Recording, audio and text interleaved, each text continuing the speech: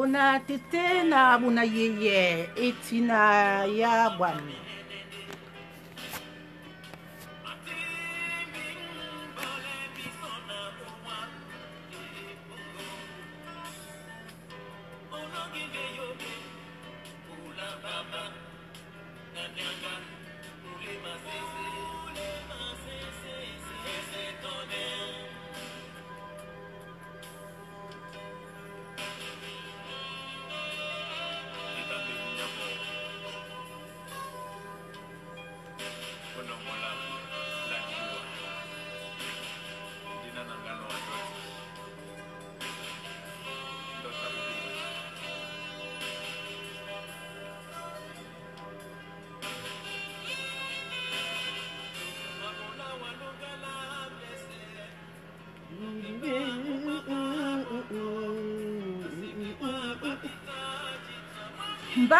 na dia ni dia ba di papa so mbiyo bola kamba biyo la be di di papa so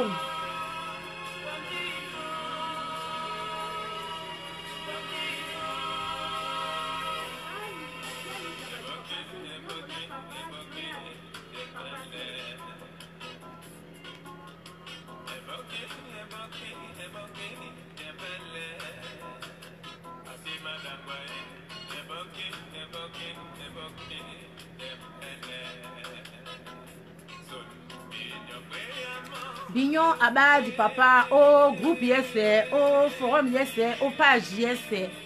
omiana la nga me ngwanje anyolo ye ne biamo so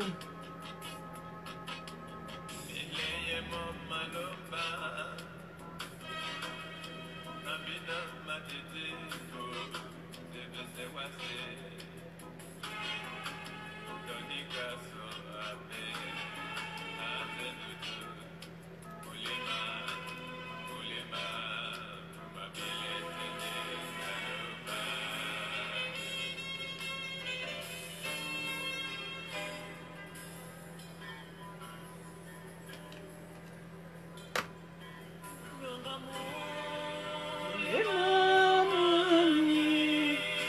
nyo abakamba yo bolamba asu na ponda na sere ojaba sona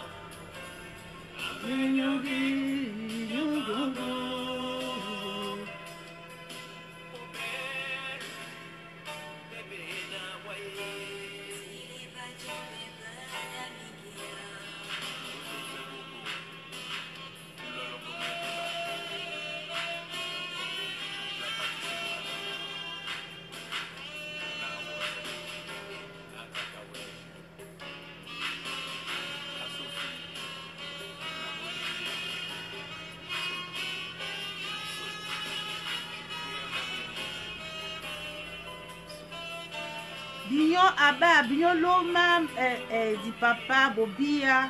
biobele mpe bato bese badia beponge sieste bayedi kwa le yende kwa di wenge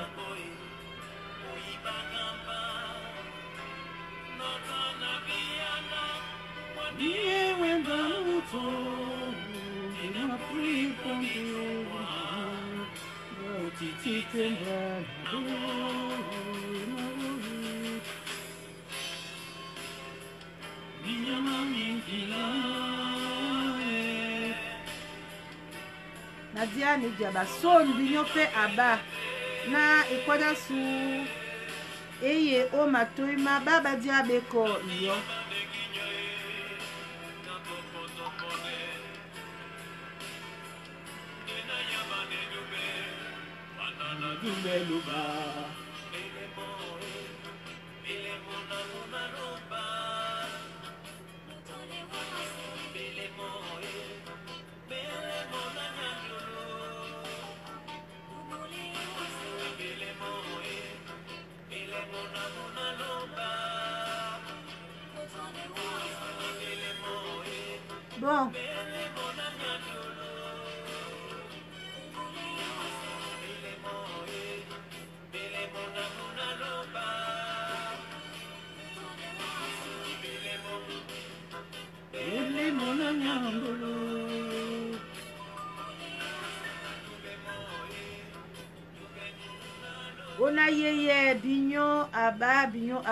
papa lasu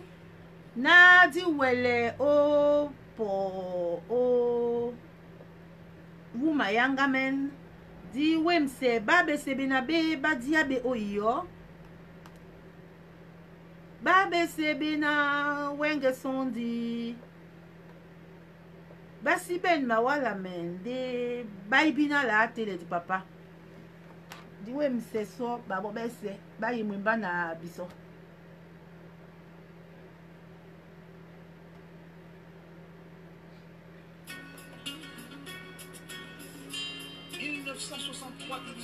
binyo bolakamba ne je ne binyo le diaba binyo aba binyo bata diaba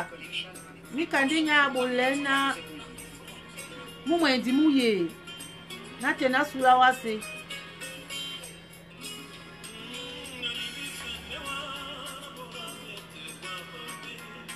usiku ni mbambuki toka kenda busu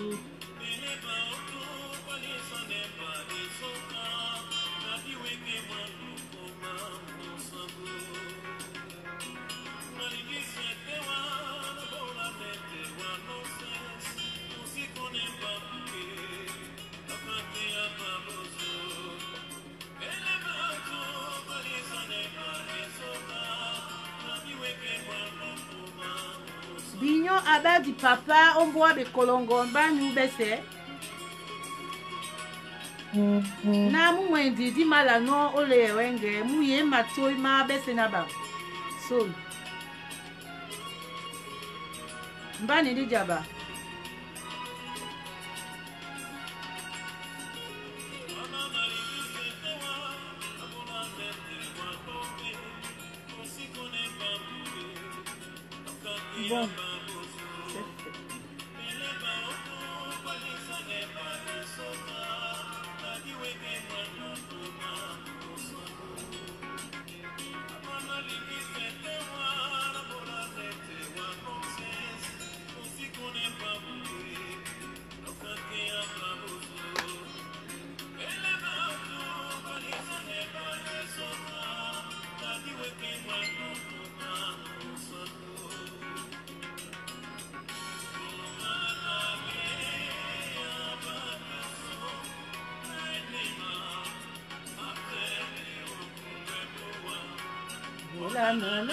ತನಿನ್ನ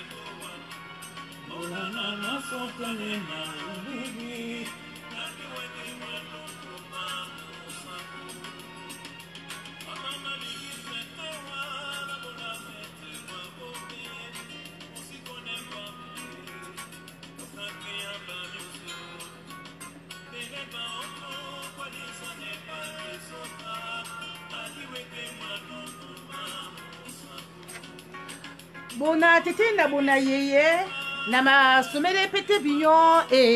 si na ya bwam mba na agbole so ojaba na masosome binyo na binyo pe labe di papa nya na adi na ala ogbote ya nde obia na adi ma ala ogbote ya hmm, na masele oso na besede na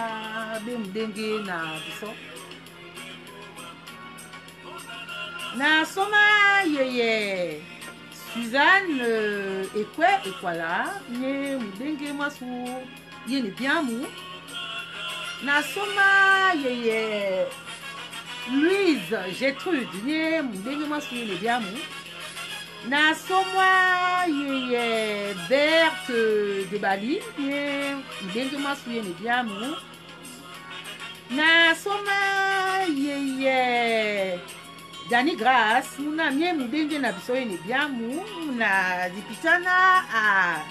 awani ya mbanje abinobola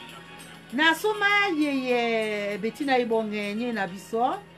na asoma tete jacqui lobe mpe nye mudenge na biso ye ni biamu la asomele mpe mobunya bwa yabe babwa miana nene na bunya bobwa yabe bwenge la asoma tete mangama mpondu nye na biso ye ni biamu dimasoma yeye bert kem bana rame nye na biso ye ne biamu na adipitana la soma mulong'wa sawa dwala mpe mue na biso ye ne biamu na adipitana dikalo lasu la awemse babesebe na badia o iyo biolo maso dikalo na baabese baweme baweme baweme ebanja na ye ne kua didi ma no ba ye pula biso bese na bam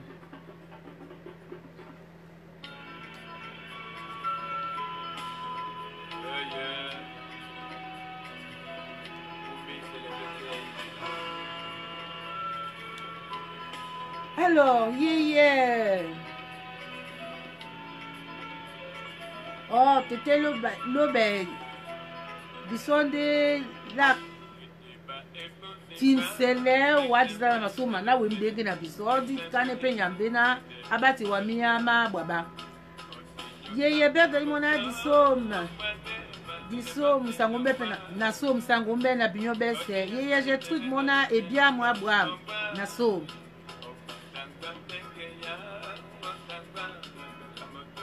voilà na batati mse babesebe na bejingele bepedia bedi papa lasu groupe yese ye diabe ne die ne uh, sawa douala sawa mulema be o diaba di papa basoma tete jule pe epenye o molenge na biso nasoma yeye jiji gisele nezenye ndenge na biso nasoma na soma ma bi yo bese na bam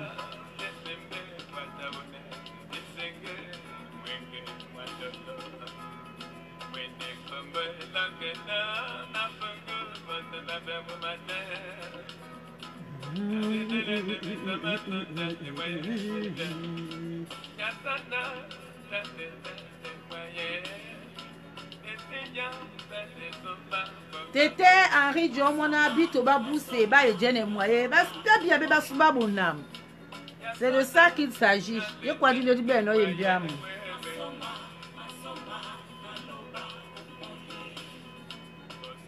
Thank you.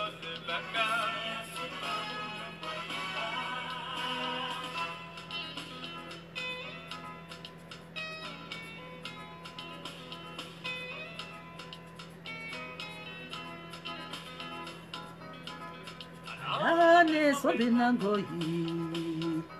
kana wewe nole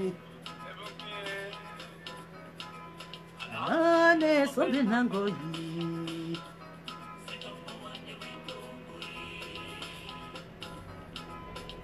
iwane ya pemba naliye mongo mwabwambie na som onyola milema bona tete na bona yeye kanje so te bino leno e ti labe o e ba mbwa so ya sawa community tema nye na di, di wa di lo meno bino ki yele ni tombi e tande na euh, l'autonomisation de la femme l'autonomisation de la femme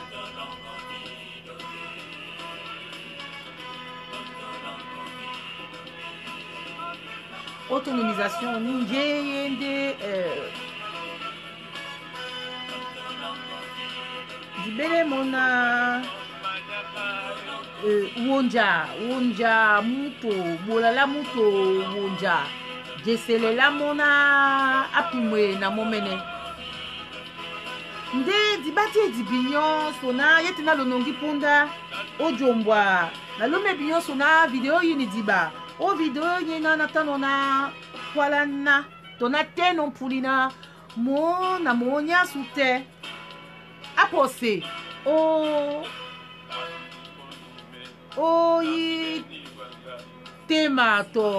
eh, eh, ma tɔ ti ne nɔ o o wa na nja mɔle nanɔ diba nata na ba ta o ma ma tɔ ti tɔ ti le na na bele nɔ na.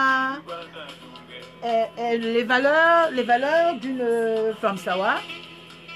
Valeurs, nos valeurs sawa. Ni kanyende dimbambe eh, la sou. ebeyi dango na sawa ondi omundu ye dimbambe neni anga meno obe oh neni anga meno okue oh, oh, mo mene odiele mo mene neni bema bambu asu ba atumba no nikanya pela kuala na neni labula no eh, eh, eh. biboteli basu bango na sawa uh, neni la kaka no bebasi basu bango na sawa uh, neni la bola no bemebe babese ndo batapeteni neni tapesepese nye euh, euh, na ni tande uh, nabele mu na ngona sawa nisi bam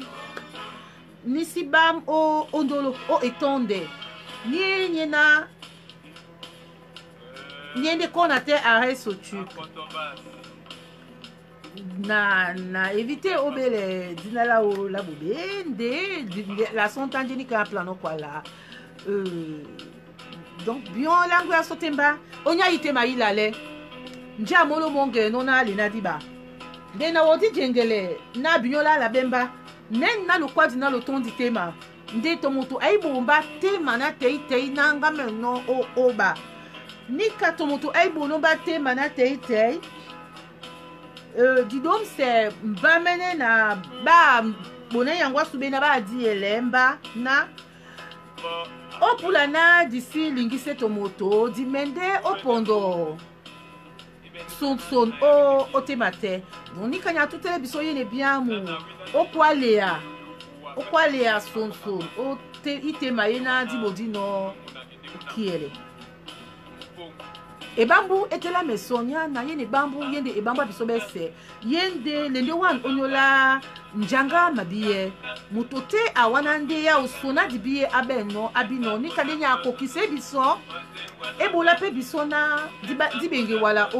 oboso nde na mbaki mpe so na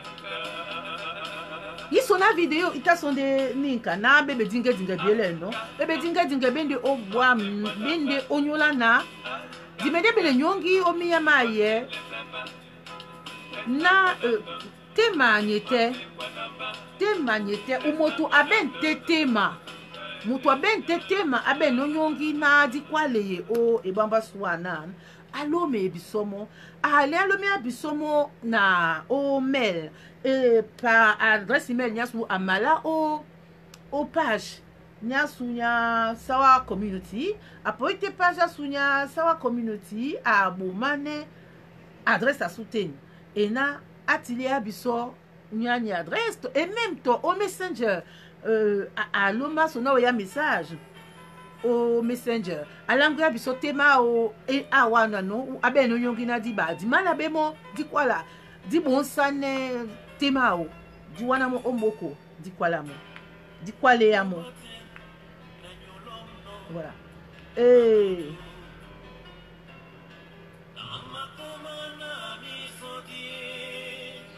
kana binyo besele nyonso wana masosme na monyanyu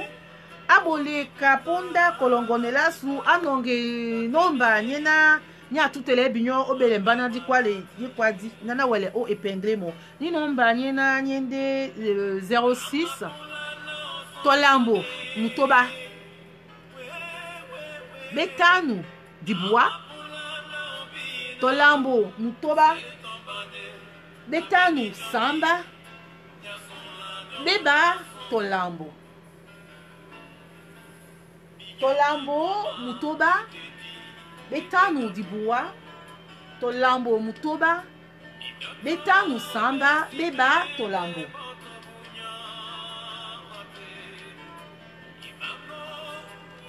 na masoma bese bedingi ye homme ndenge mwasu nasoma yeye salomine ekwala ni no dene nasoma tete pedro drums mpe ni no dene nasoma nasoma nasoma besebe na bedingi ye nasoma yeye béatrice de souza nasom bonsoir béatrice Nasoma, t'étais euh, NJ. NJ Tony. Donc, on a J Tony. T'étais J Tony Nasoma. Ouais. Nasom, onyola milema. Ma wamseba matanga. Ma, ma wana pemba, ma londe pemba biala omdimbu. Nasom. Nasom.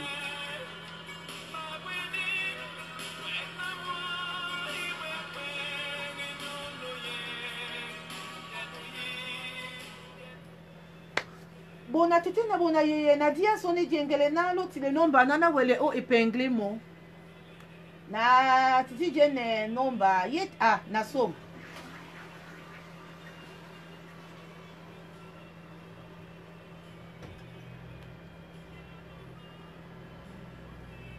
na mene na som na mongena na epengle nomba mm, mm. na som binyo bese ni kanya plakwa na binyo lewa mm, le bambusa mm. laabu pembe alei ye natondinika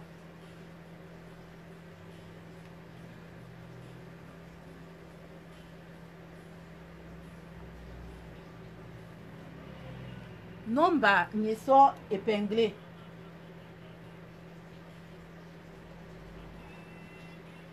ye tena na e wusi nomba nye épinglé laso ma tete miriam nga yeye miriam ni nani diabete di papa laso na so ma babesebe na baabi di papa laso oyele biamu na bateya bion na lobenge diabamo lobenge diabamo na di wele baye ekuadi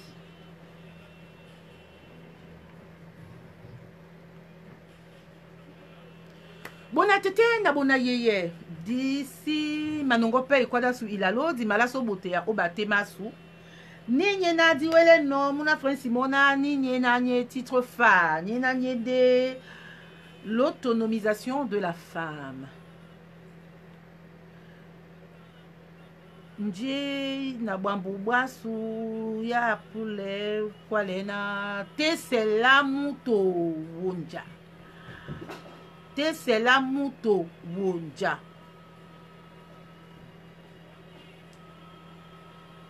bona tete na bo na ye nje ebelabena wonja mutu lo monge na di ta wonja dibu si no o mabumu mabaye biso disi ta wonja na mongele na di ta wonja na mongele na di ta wonja nde wonja ni pepe e ta e pula ni nye agbee biso na di pumu e ka kambela nde e si mabola biso na di pumu e kambela o mbada bobe nyende ombada gbam otese biso miende o oleye biso longe obola biso na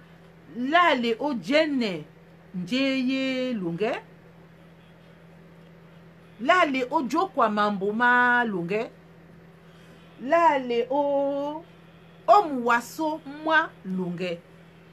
monde ni autonomisation de la femme lo mongele so nde na nze nya na bia na na madaba ata osolo o obala ye kua di moto abeni te lambo lakua la diombo ya ni autonomisation de la femme na wonza ni ese di papa di te lame di te lame nde nyola biso bese na ba nde na so so mbe biona abayeye binyobele bane bayeye bese be na badi abe okoyok babese be na babole da be owumse bi owemse babona mponda nya apo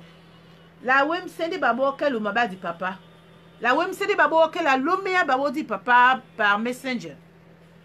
lome te babo par messenger bapomani owema oyo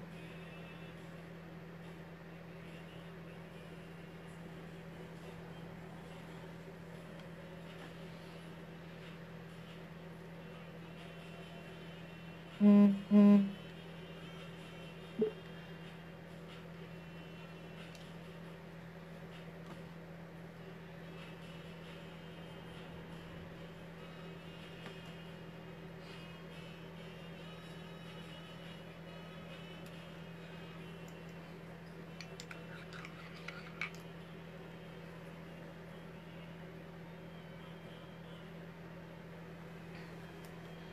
buna tete na buna yeye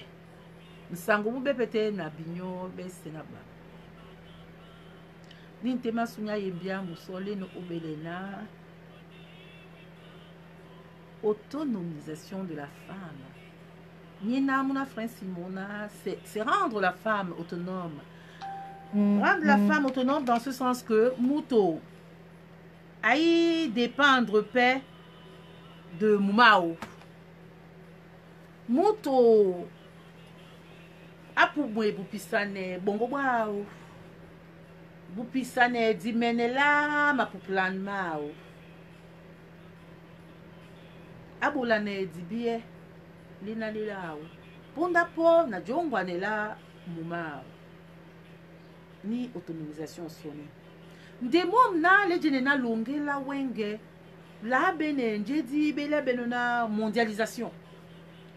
na ebeida mondialisation bambato bamombo ya betema beida mundi mwa wase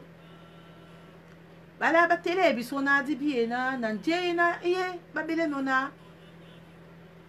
réchauffement climatique ni atutele biso na se tobomi nde baadi yele bamambo mese na bango moto abena epola awo na eyala awo obebe bolo bese ba mundima wasi oniola na ni ponda mumi di nongi te di me o epasi ye na mumi ndi amale wase moni mondo amale bolo ni ponda sango mbuwa eno obolo mutu pebe ebolo epepe ye nde ye anga sa makute nga bongo abana nga bebolobe million mambo na mambo ma ma atutele ye so na di boye mutu autonomie mutu abe autonome et c'est ça l'autonomisation de la femme mutu abi ye na asangame njengamu mawo diana ate sembo wawo mo na ti na kuâ na mu mawo abe mo mbata nde mo abembata muma awo bote na ponda abino na ene mbata muma awo mambo mambo awo mese pema ateme kabwamu e abi tongi na plan so na di bi eye di bi eye ne bi amu di bi e na disi ti na di ti kabe o wasa bomi ya plana la le o bulele nyolo onya na mundi mo wasi mo atela me biso ni ka mu telemeno biso mu modi mpe biso opportunité ye se na bam ni ka ye nde misima mese na bam mu yebola biso mangeya mese na bam na di wele o di wele okoka na beleni ka di wele okoka di wele bulele manyolo obwambwa bungwa mamboa masu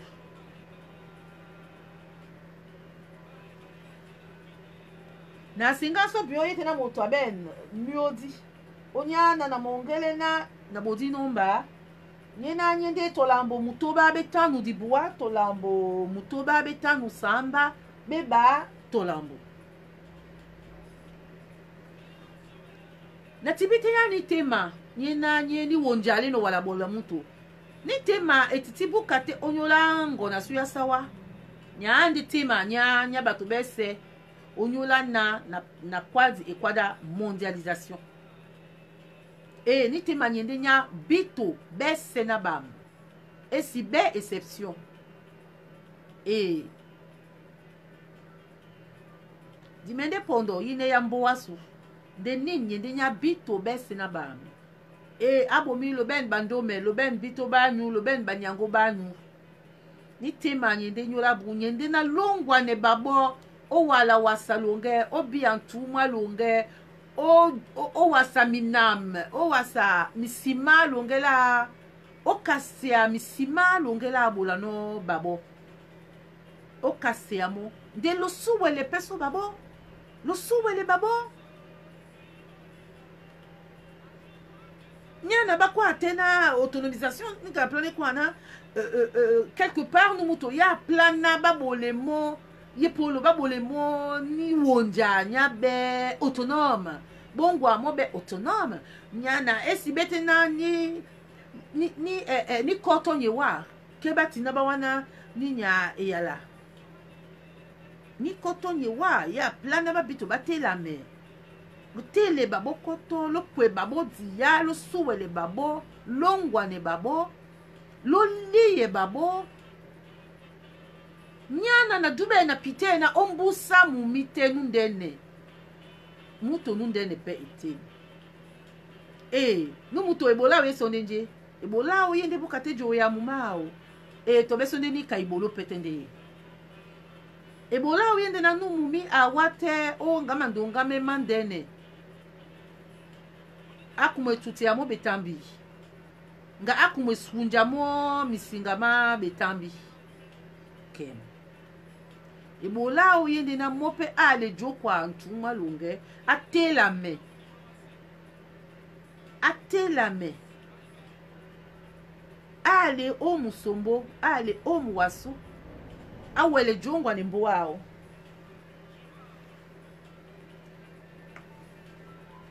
e, ebanja amungwonete mbuwawo mumipema katama awamamo abomi binyo esele biso di bulelema nyolo binyo esele biso di be autonome binyo esele na longwane binyo na asoma bese bi na beijing ye na asoma yeye marie louise mukalani jingi ye na asoma tete mbenda bojongo di be leno nyo abela be na francis ma asoma nasoma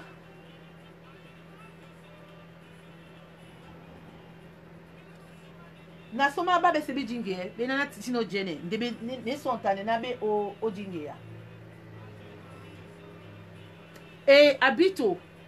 na abomi di papa le sondela asu moto te awa ne nje abe no nyongi awu nje nyolo alangu nje amungele no na ni wonja labula no bito ni wonja anya tutele muto na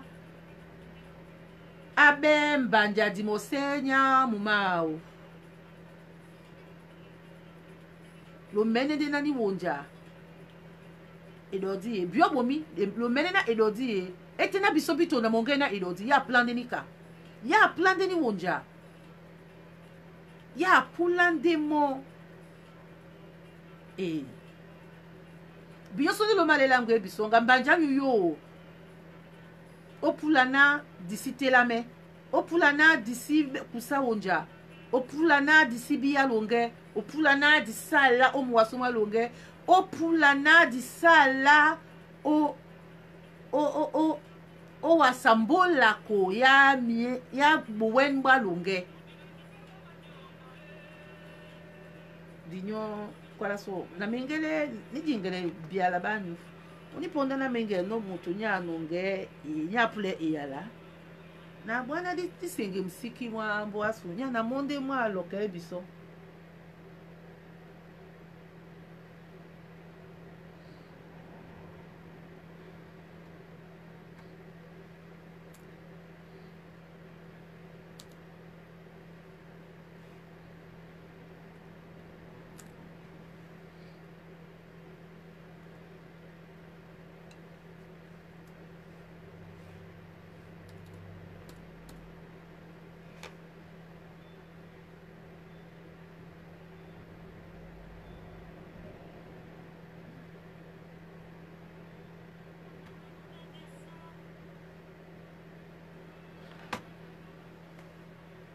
eh, buna tite na buna yeye biana na mala obuso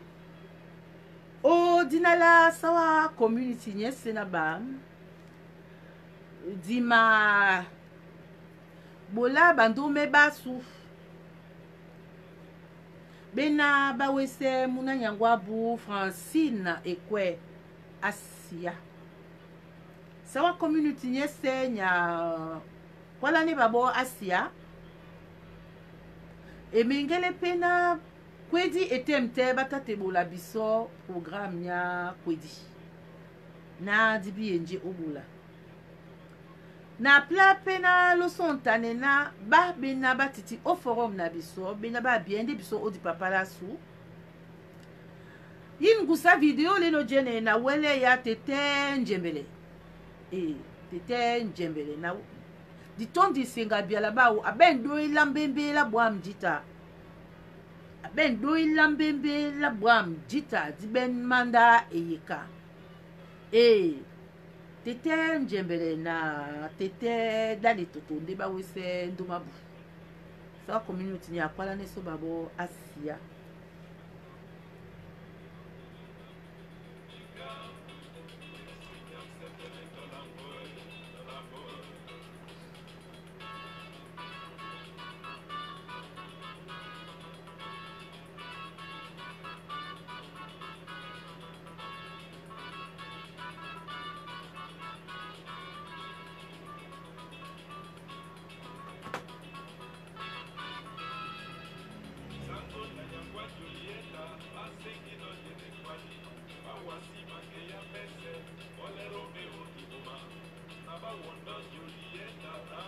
unatutenda na bona yeye nejene bitu be wa million bati munyenge na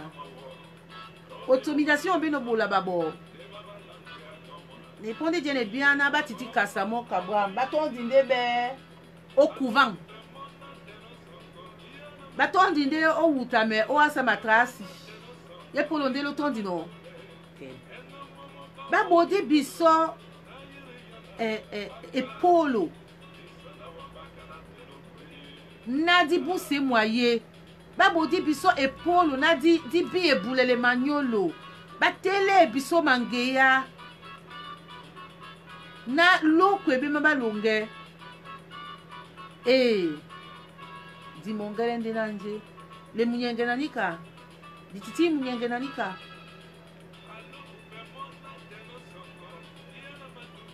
telefone etelami eyejenge bion oyo Mana plas ndị na mba ndị mba mee ma na-agba ọla egbugbu abụọ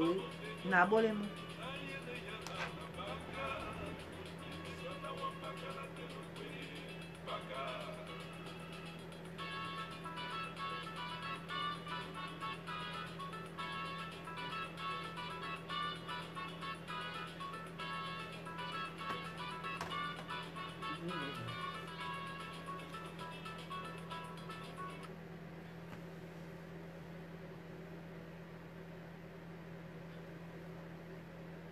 bona tete na bona ye ye mponda mponi ntema ye pasa autonomisation ye mabwese bino muyenge nde nani muna am grace ata awaso na mponda grace ne diene wa otidi na musango mube na mba nde musango mube mpe na wa musango mube mpe na wa mu musango mwanga membe na wa mapitama matande na mu musango mue te na wa walango ya mbanje ye ni autonomisation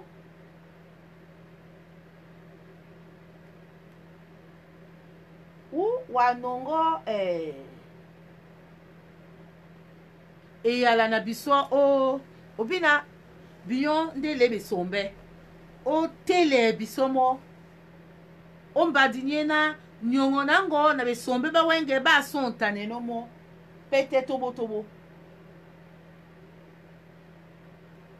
nasomi atete rafael ne dingea o mudenge mwasu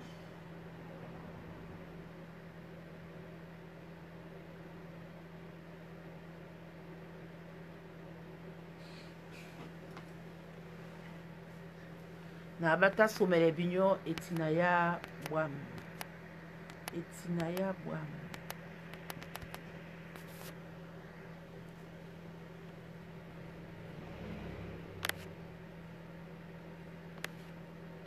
bona tete na bo na ye ye lo biso na euh, disi ben mpe ngudi o obele bignon en ligne di ben mpe ngudi obele bignon toye polo obele bignon en ligne ndie selelo lokwala ye nde o telefone nalongo moto aboso ete pana na kumemu na mbe ala be Oh, Ah, grâce téléphone hein, ma personne nongo eh. j'ai pris ou pas j'ai pas pris ok moi je te rappelle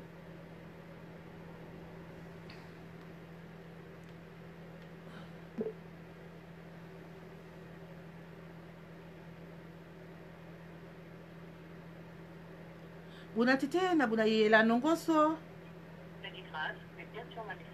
La anon gwa so, eee, eh, ente alokute an ya boso.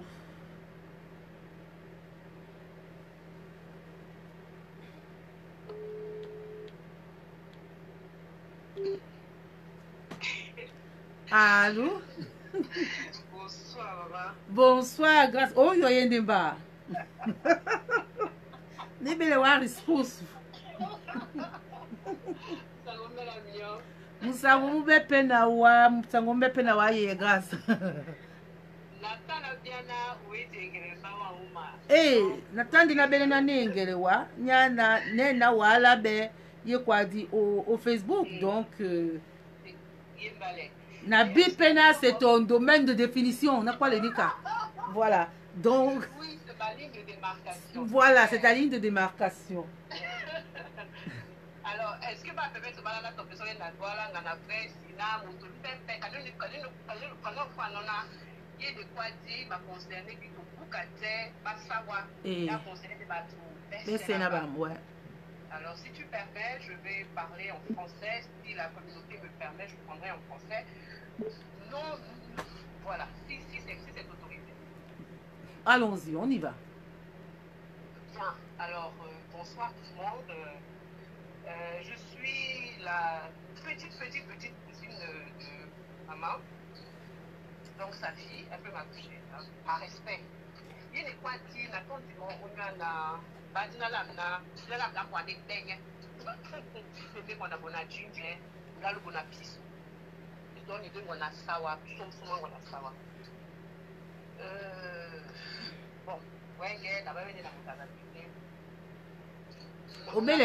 obelepo ndi ndi na nedemo eh, monsieur kam nde wenge nde eh, ya wana embabu mbuku ye kwandi na to mo justa na to mo pasmak onyo ana eh, j'ai l'impression que c'est un secret de polichinelle euh, nous avons déjà eu l'habitude de, de discourir dessus euh, Et je pense qu'aujourd'hui, que la place de la femme dans son foyer, depuis le commencement, euh, avait déjà été déterminée. Alors, mes références sont culturelles, mes références sont également bibliques. Donc, quand je vais parler, je vais un peu m'appuyer sur la parole de Dieu et je vais un placer, donner la place de la femme, si vous me permettez. Et je vais aussi parler culturellement, parce que je pense que notre communauté, en tout cas, euh, nous la maîtrisons beaucoup. Or, les femmes de notre communauté ont souvent été actives. Je parlerai donc d'un premier temps du rôle de la femme auprès de son mari,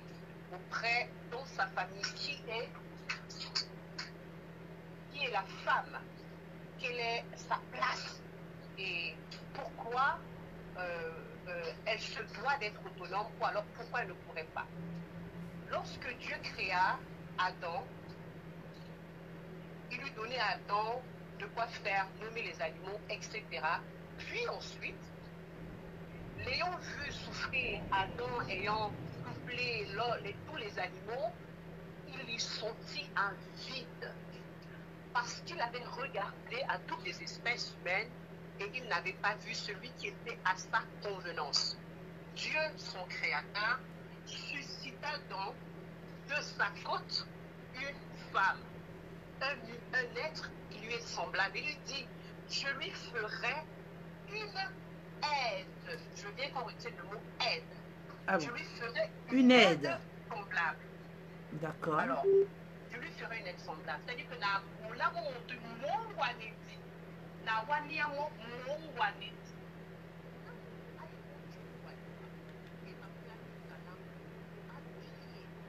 Jina wabulano et ma planning kana moto ongwane wanewaya planning kana abele dinya kawa toson, mhm. mbukawa ouais. bien de ce fait je considère ce n'est pas un secret que la femme a donc un rôle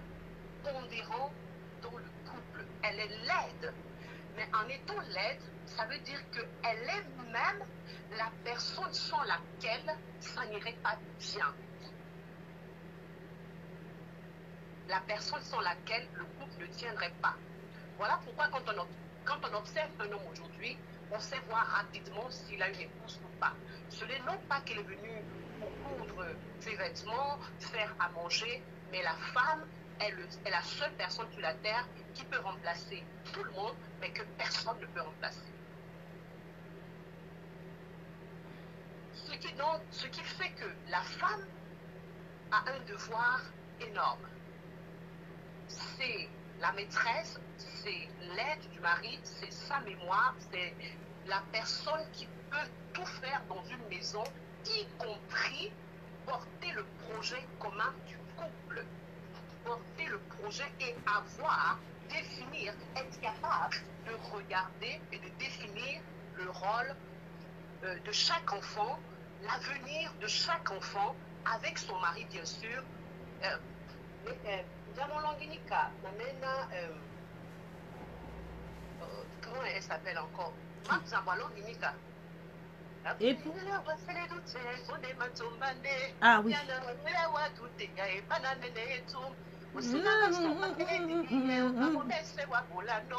sonsona mongimami yango epemaleyama munjangomba awi mark zambo mark zambo alongi nika mm.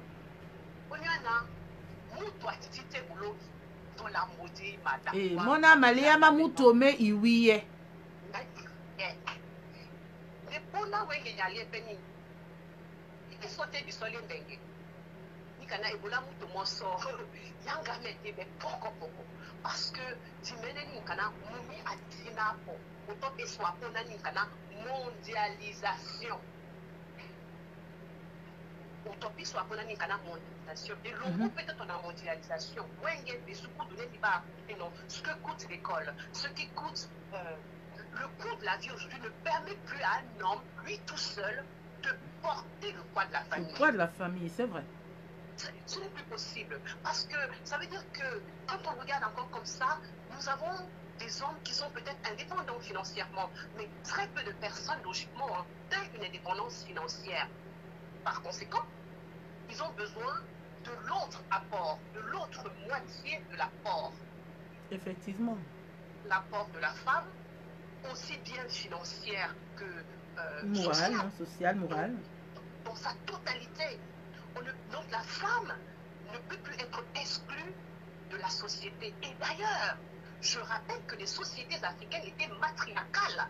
de par le passé. Ce sont les femmes qui avaient la gouverne des projets de la famille. L'homme, ce n'est qu'un chef d'État, mais la femme, c'est le Premier ministre. C'est-à-dire que c'est elle qui prend des vraies décisions, qui régit toutes les équipes, et l'homme est déplacé en avant, pas comme une amulette, mais euh, dans sa fonction de, on appelle ça,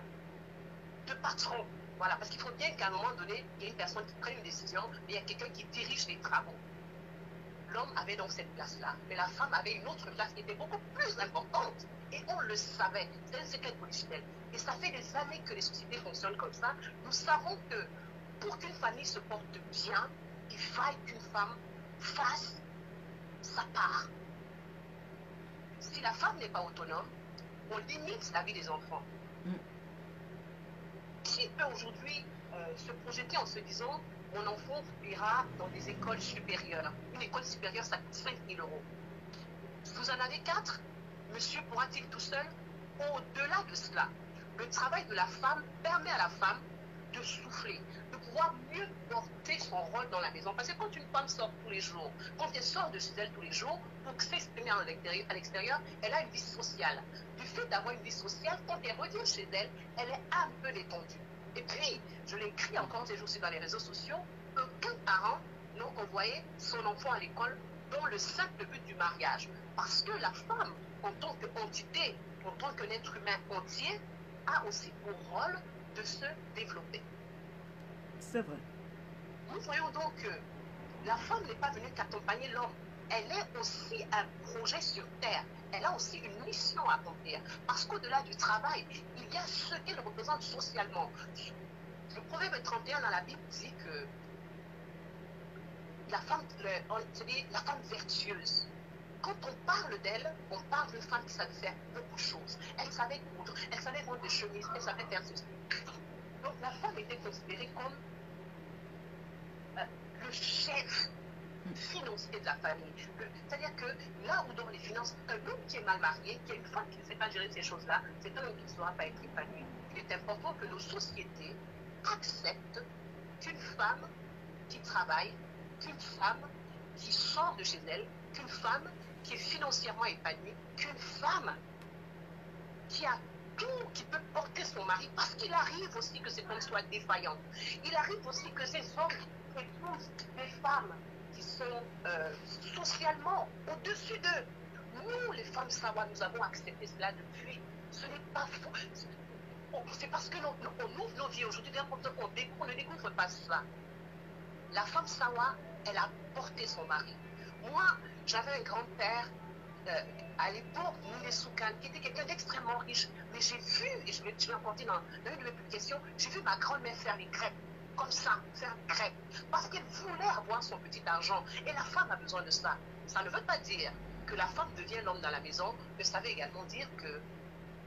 elle soutient le couple. Elle soutient le couple. Elle partage les charges de, son foyer. Exactement. Elle contribue au projet commun. Commun, voilà. Voilà, c'est ce que je voulais dire ce soir. Euh, je, je pourrais m'étaler dessus des heures et des heures, mais c'est important même notre génération aujourd'hui, nous voyons des femmes qui sont chefs d'entreprise. Laissons l'ambition de la femme grandir. Ce n'est pas au détriment de son couple, bien au contraire. Une femme qui est épanouie, une femme euh, euh, euh, qui réalise, qui se réalise, elle, est la fierté de son époux. Parce que tout ce que Dieu a placé à la femme est le trésor de son mari. Voilà pourquoi il est écrit à vous hériter de ses pères une maison, des richesses et tout cela, ça, tout le monde peut vous le donner. Mais une femme, une bonne femme et une femme intelligente, c'est la grâce de Dieu. Comprenons donc que la femme et tout ce qu'elle contient, c'est le bien de son mari. Et considérons la femme à sa juste mesure pour comprendre ce qu'elle peut apporter à ce monde. Nous avons des femmes intelligentes nous avons des femmes entrepreneurs. La première femme au Cameroun, c'était ma tante qui s'appelait Esta Elle était la première femme ingénieure au Cameroun. Pourquoi alors moi, je ne suis pas surpris. Ce qui me surprendrait aujourd'hui, c'est qu'on continue à garder les femmes dans un certain cocon on les soumette encore. Ça ne veut pas dire que quand une femme est épanouie, elle n'est pas soumise. D'ailleurs, chez nous, les Sawa, nous ne savons même pas ce que c'est que la soumission. Parce que nous avons un mode de vie pour l'amour, que nous savons que si nous ne nous soumettons pas à notre homme, nous avons un jeu presque sexuel avec la soumission. Chez nous, les Sawa. C'est pour ça qu'on disait que quand une femme Sawa attrape ton mari, il ne part pas facilement. On avait cette réputation-là. Parce que cette question ne se pose plus depuis plusieurs années dans notre communauté. Nous sommes les premières personnes à avoir été très libres avec ça. Ce n'est pas pour autant que nous ne sommes pas des femmes soumises, ce n'est pas pour que nous ne sommes pas. On a juste le défaut de ne pas être assez entreprenantes. C'est tout. Mais moi, j'encourage vivement les femmes à beaucoup plus d'autonomie, à beaucoup plus de productivité, pour qu'un couple soit de plus en plus épanoui, l'homme sera plus reposé parce qu'il a aussi besoin d'être loué, mais la femme aussi a besoin d'être admirée par son mari pour ses propriétés intellectuelles, pour ses capacités à être une femme, pour ses capacités à être une épouse, pour ses capacités à être une amante, pour ses capacités à être une, un entrepreneur. Voilà ce que je voulais dire aujourd'hui pour ce qui est de cela. voilà. Nathan n'en a compté sur na so na so wajita na so wajita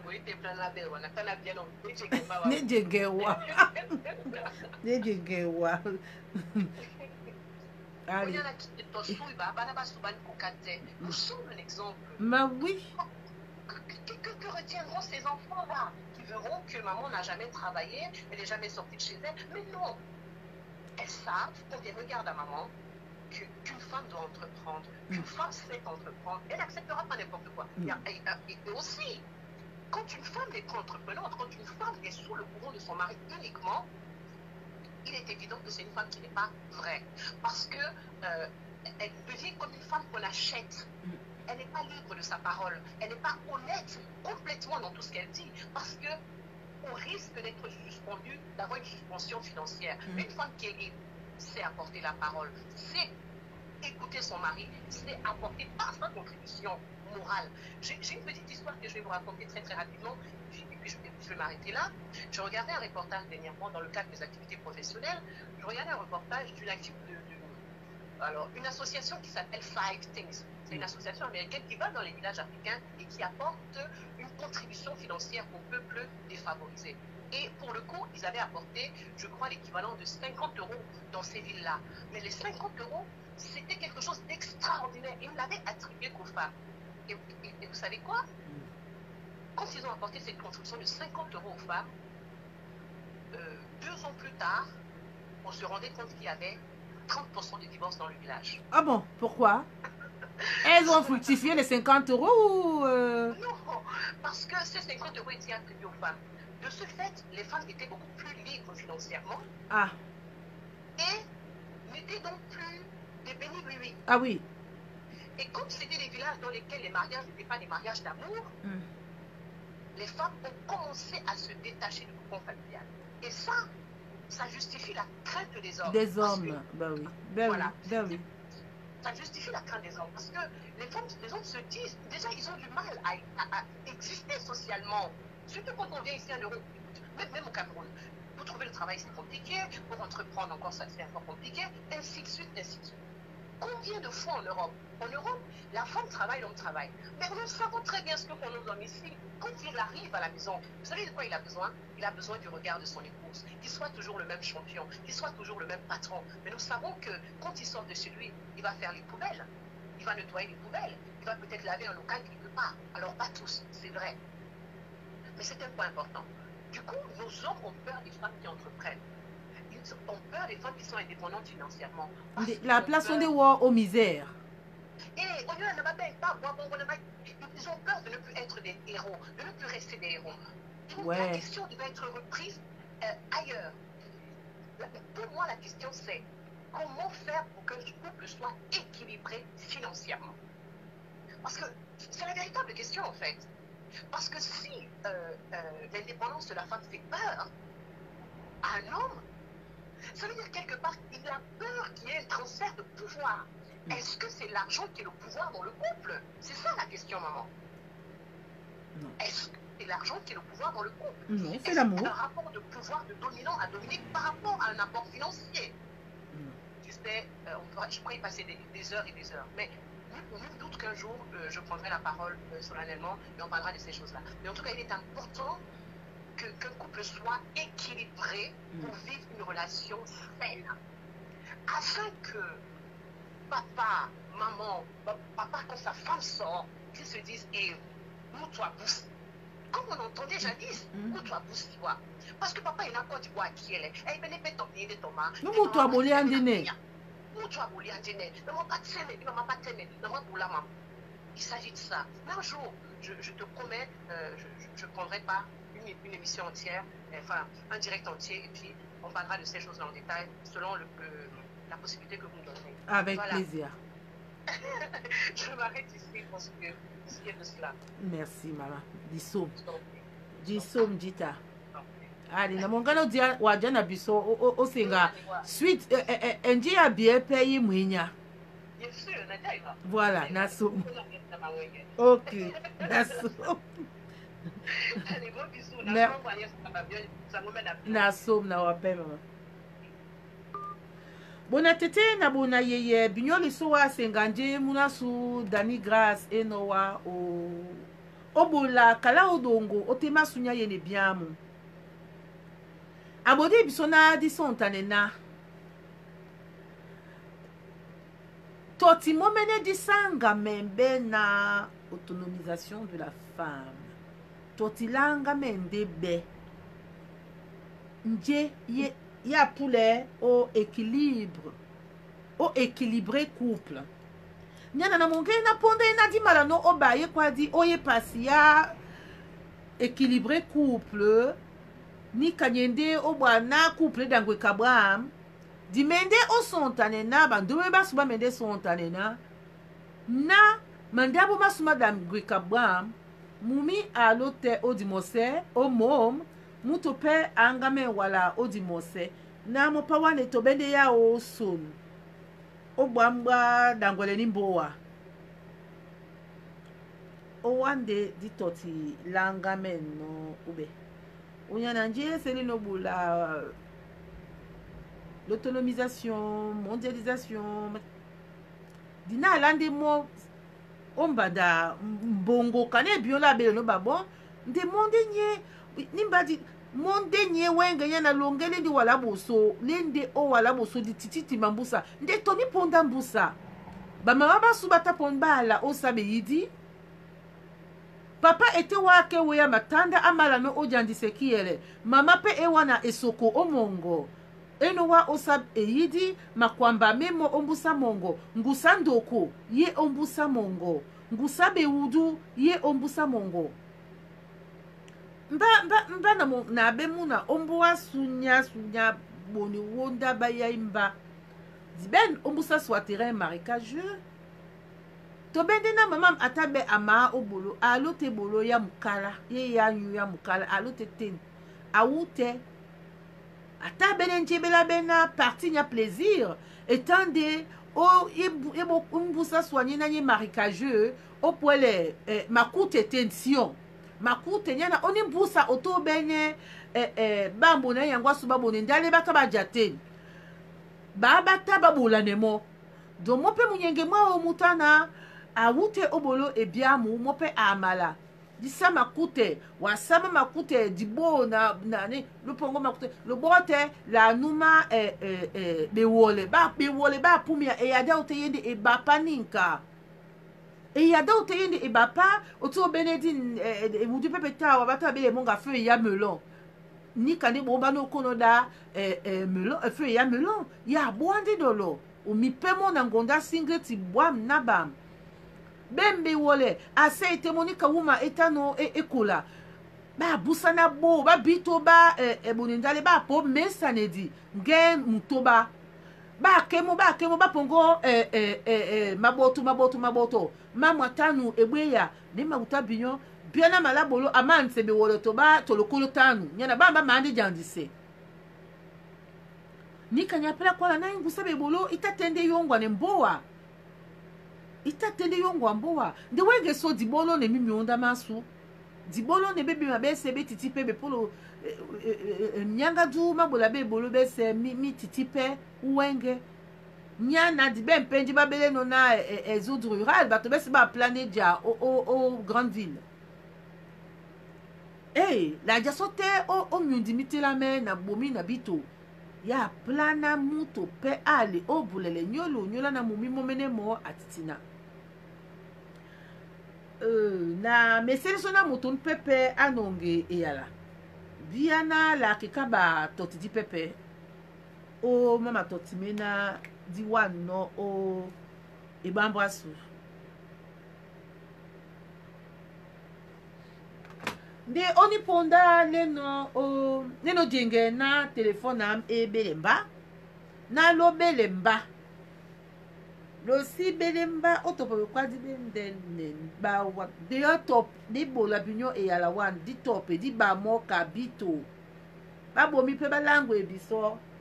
baapla nde na longele ewala boso di ti mende ombusa mwatandu mwa mbumbusa ebuyami mbumbusa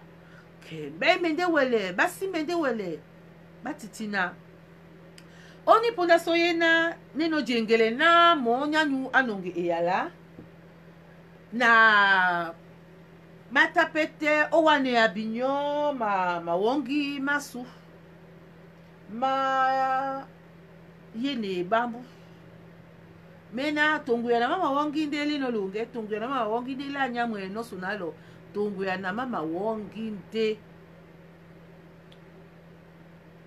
lasenga no muyende mwa lumbe onyola nika pende mapita masu meno na binyo lo biso na na koko binyoma to ebunya te na koko mom na koko di mose na koko mom na koko di wose na lango ebinyo na ninka lo dia e te ninka bio lo dia e le duma mba direct lo yombi te ebinyo ala lo di mpe telefone na nyu moteur de recherche tolien lodangwe kunyakunya lale odi wongi la tete manga babele mo na maloko na loko shopping na bele mokambo wa maloko shopping opolti nya didi wongi na tele bioni kawa ndunya te na en mo awele pe mboti na mboti yeseye ete na jupe na ye jupe ya bito nde e. na ebe jine tosa bomi e baana bito bito ndi baboti mboti bito ndi bandi mboti ndi bito ndi basala bolo ok na en namani se jupe ya mbonji ya bito wei pe ndi ye awenge yana e poin so te ala okomande ni jupe mu mango awate ebia mu bɔte mu obese mu na ni jupe atondi ndena obɔte mu jandabu nga obɔte mu wala wasalunge ye se to wala wasalunge mbindo ndi owasa wala wasalunge di tengen di la ntuf di la jongwale mu muna mwa bulungi don sapa tete mangama mpondo lena abeleno na maloko shopping e ben uh, bilongisani bese bandabo e ben tele e ben robot e eh ben euh, mboti tao e di tanda mtombo e di euh, tas euh, be mabesi na bango malombi nda moki be mabese na bango opoi tetene oyebeni yongo awa adoni mpe wasu weyandi tene o oh. wasu yandi tene oyemba bambe muna e oyebe nyonga bambe muna bamumba nde diombelongo kokokok kokokok nde babwa wa karton yango ya sango nya aboma nde wa onda bo tonongo na nga no te ndeli aboma no wa oyebe na misisa mongo mikame nonono no. maboma nde wawa babele soni sapi na maloko shopping maloko shopping tete manga mampondo ete wa e na mpondo na monge na e na wele biso lie nya sapi yetena iwa ee eh. na a na ejengele biala banu na ya plana lo langwe mba biyo mi nga na ebe di ya e, ogbo anambuwa edangwe lomonga na njie lomonga na mbanja nyu momene idonga me yoe na biso sara pe mwebolo e na wani ape binyo diwongila yeye anishi nabe nayebinga muminu nga mutu babele e mu na mara epe wayene biamu alangu ete mbanga ende mumi nga mutu atiliane mba voila mara nyango na sombowa mara nyango ne masontane na mara be wane ne masontane watiliane be kuata diwongila yeye animo na mo nde ne masontane clé en main nde wabia te biso wanga me mbia uma yeye ani wasonomo nyena nema sontami mm, odi mongo mm. bend so di bendi wongila yeye ani mbengo di beleno na ani mbengo fam jack o oh, ani farm fam jack nyapongo so ninje nyabola ninje ani mbengo fam jack yende mm. di di wongile na nga waplande lo nga andeki ye nga waplande lo nga ndie mu na frɛnsa bɛ lo na gratiɛ le bo ni nye na nye apɔ na te na olombo abolo ba nga waplande lo nga ndie esuwe wase ani alongi awa bolongi bongo ani amongo awa olangwelela mapapa ma bolongi bongo mapapa ma minyanga tu mongo lambo te lambo te na kua di na ani abola nde clé en main e nde ka maiture clé en main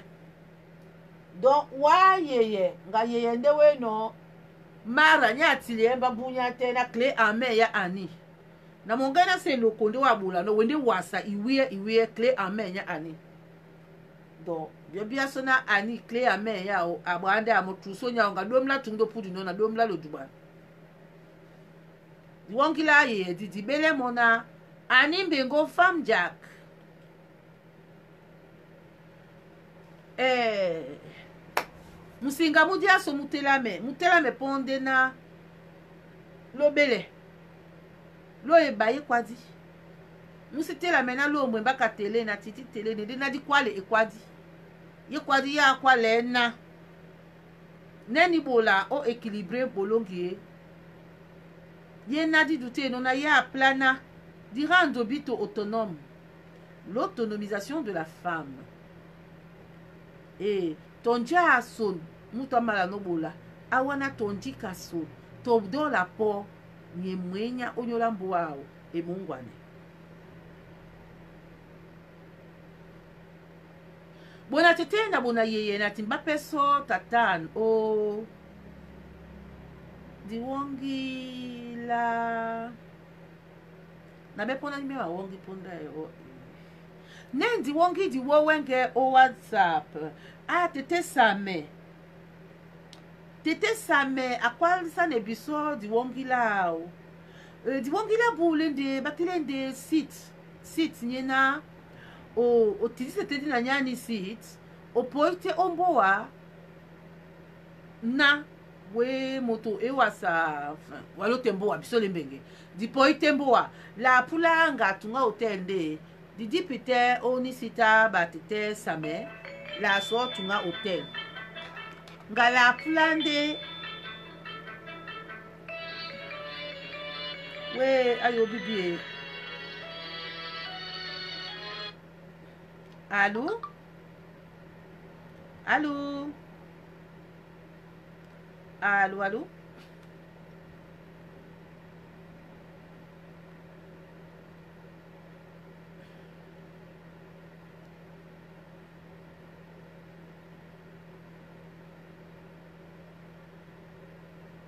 Quando é Nidi?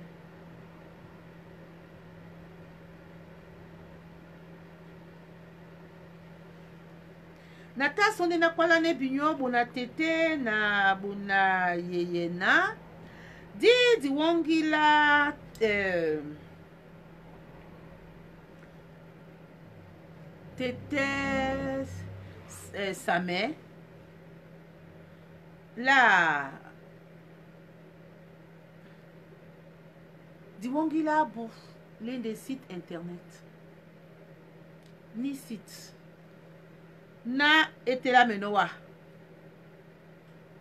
bino bese babene mawongi la ti dise ndi mbini amanyu oteni lo ti dise te mbini amanyu oteni tongi kaponda mo nyasu alu no mbuwa adi piteni nka aso nde diwongi aso nde diwongi aso e te di wongi nga apla nde tunga hotele nga apula nde eh, eh, sapambango e nga apula nde eh, eh, eh, eh, restaurant e nga apula nde tonje wapula no ome nde bomane mo o di ndi wongi la batete same le na le nde site site alo tete etina ya bwama na so na so mbwasa wa ekasi masoma mongo tete mbonge nde ekwasa biso kalisi tete na atele so msinga be esengane wa mbu wanyese nye esengane wa eh, teteteme wenge yende euh, l'autonomisation de la femme ni ka yende bolala mutu wonja euh, mu na so grâce akuala na biso so na pondana di nonge nde mona euh, euh, euh, comment équilibrer les, les familles donc ni ka pla kuala na ombadede e mui mumi di, di pousse bomi basu osonta ne na moto emwenya walala wana la do lala moto pele mwenya nye na dibo la nete expression nya l'autonomisation ye de biana lende o onyakisane babo tona le tokisane ebe ye di ewo nde ke dibo la nete tema nya équilibrage mumi nya bob se pete nyo nya abwa mu mise ni ke bwa mu na eme na moto pe awane ya oso na labo moto ale obulele nyolo tema bosoni nyana di bole te ni la timba la kuâ la pete so na pesepese to o be mponda ti bato do lange di o, o musinga kobe nyongi okay. na mene bia na mongele mabua ma nde ça dépend de je ye na mutu te abe no mongele o te ti na mu mi na mutu mm -hmm. ye te na nu mutu e nde na ahungwane mu mi ke ka indi lamulabwa mm. Mm-hmm. de ye tena indi mpulane tutana ongwane mumi ndi ongwane ndi mbiya mau to oui. ongwane ndi mako mau to kumbe nyamwo mene keni kanyadi lamoni pepe dibe mabadi ta weng emina mabo unya ikwada diwongo yana batite baita balema to i, i, ta, i Lima. U tena mindi amale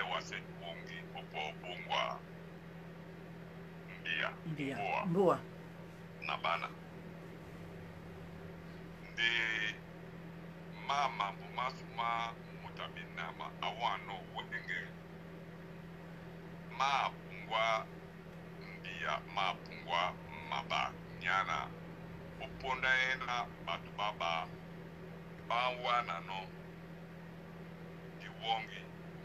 mm. ti ponso punde woi na diwongi la mutu lino kite nkinya buka la mumi mm. uh, uh, punde wona bwa ndutu okwani nkana mutu ablande timba mumi ubulungi to odiba nyana awana pres diwongi mumi ayabani na ale tɛ ni wɔngi le de la mbowa mbowa nyɛsɛ ni ka mm. esi matakisɛ mɔ nde namu do awa ni ni wɔngi ye de lambo le na oku nɔ etiti lambo na bɛɛ no ke yabe dɔdi mɛ ne takisɛ mɔ so na azere mɔ. konde wala wana musa yoko yoko denike titi bobe yete na santa nelele yete na to ebe na wana laula di wongi la a bɔra dusu na abene bɛ ya mumi keni kende la langulagba ni mambo ma yoko yoko ma wati zita n mm-hmm. y'a ma wɔnge ma ba ni kunde wɔ ya Oh. na blabla adine na blabla adine ni liberté ni momene so ni mutu awasano ah, mope yende lambo ni pepe lena ni titi o oh, mabola maso ma biso sepo so mutu asawa nye mpona mope ma awana yokoyoko ni pepe na mongele o oh, mimbu ma mi sadi o cameroun étant de nin kana mutu abusa tena amala nga omuntu kumpepe amate bayese visa nya wala olondo oyekongo epepe pour chaque sortie yapla e eh, yapla na mumi abuemwa ni papa na autorisation autorisation de l'époux voilà na akuse visa eta mabamata mponda bwamdi ni mponda ah bon matande bwam e ma dibatela wana tene miango deekrila mambo la mpo kusa évolution ya mambo d'accord nika eboli na mponda mpo eboy ye na bakole no dilango bakuaninka na mutu abla te pusa abe mbwambo pusa ebe batse mumedi papa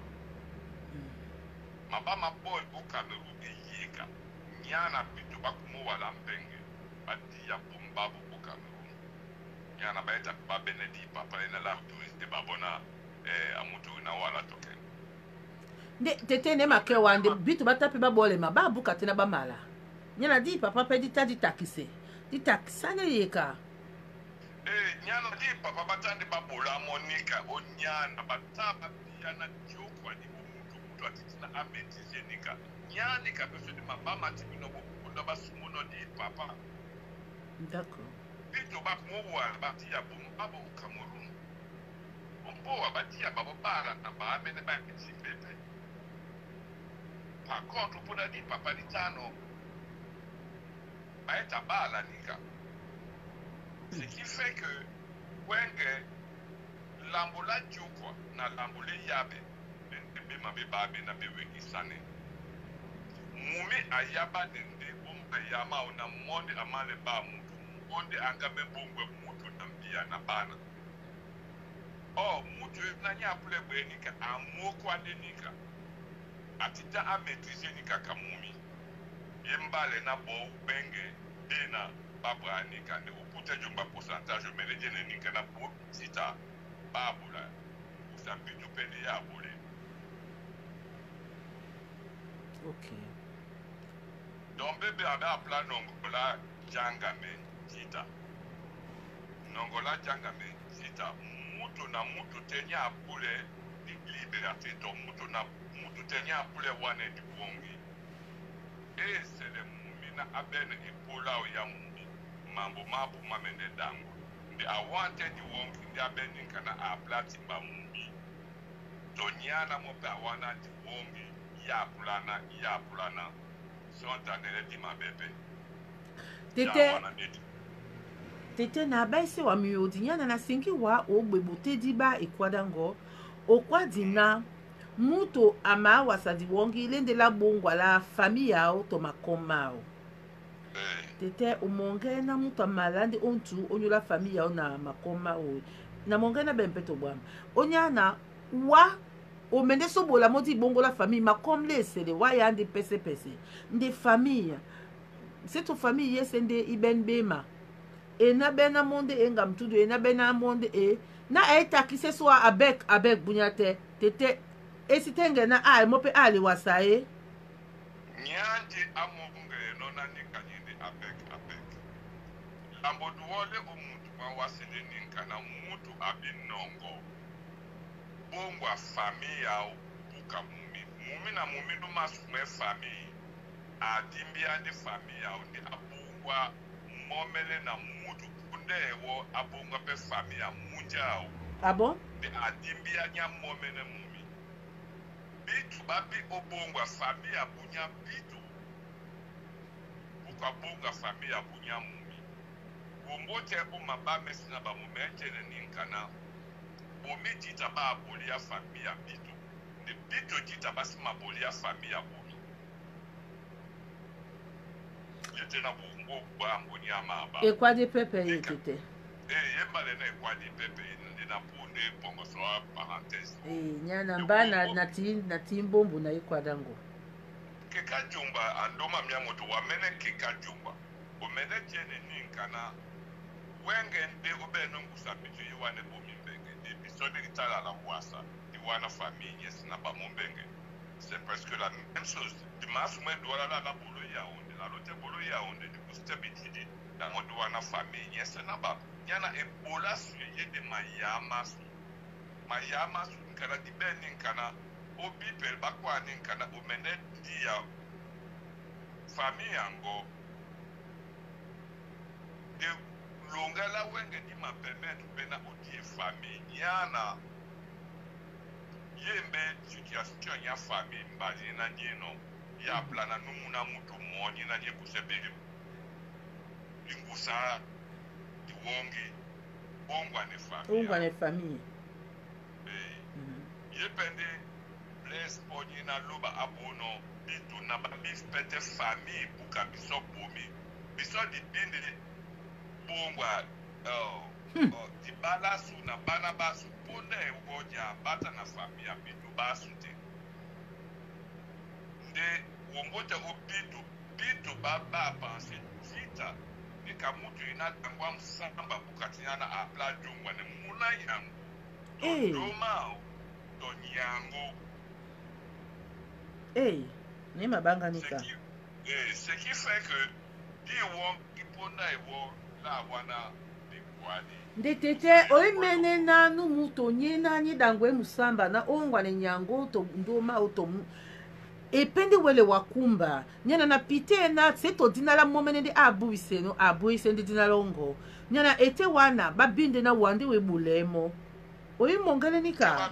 e kem e, be e bini ka e na peta wasa diwongi di be tobo tobo babina abe mboa o obongwa don awani ate babo nika nya plakwa na misongi mandabwa o ma ateme bwande wa buse e dina obi alam nika ni bitu jita babula no babola ndi nika obuyise bombabu mina obola na bombabu benene bwam omi oso ma famille ya bu nde binyo la nongo nika bobe di na bo poso ndende ma wene so ntane e. e di ma nongo nika bobe lambo dole na kane na lango enowa eyabe na jokwa bende mambo mabame na mawengisane diyaba nende ogere famille binyo lo moko ande ogere famille ana ye nde lambo ye na loba asi bono binyo ye nde kane loba abo binyo nyanyu gérance lambuka mbowa lobi bongwa mbowa lobi bongwa bana lobi tipe lobi onongo mpona nyambu mbanyu ye nde diabia ye na loba abono binyo ye na biso adi ti ti na di bolamu di moko ande bobolamu donc toloko mpe nde bolamu adi ti ti na di bolamu ka binyo ye nde même lango ye nde pastie na ye ti na wenge biolo beti wongi na biolo apla bolandi wongi lo si mende bolamu ka biso tema mbindi ninka na na mamamu i bowa e dangu ye apla na to e pende na mutu awana di wongi mm. aje se mumba wasi abue mo e bolao ya mumi na asieri bebima asi bodi tanika be mende wana be kwadi mumi na mumi ya sole umu be ma wamebeba moto hmm. hawana nilipo alinyambe moto na moto nya sole o ebola mumi mo hawana nilipo ali loko bo tɛ mutu te ebola o moto na moto te nya abɛ mumi ebola o ya mumi o di ba si ma hawana biko ali eri mba ebola o ya moto to ebɛ nina je hawana no ni aja ebola o ya mumi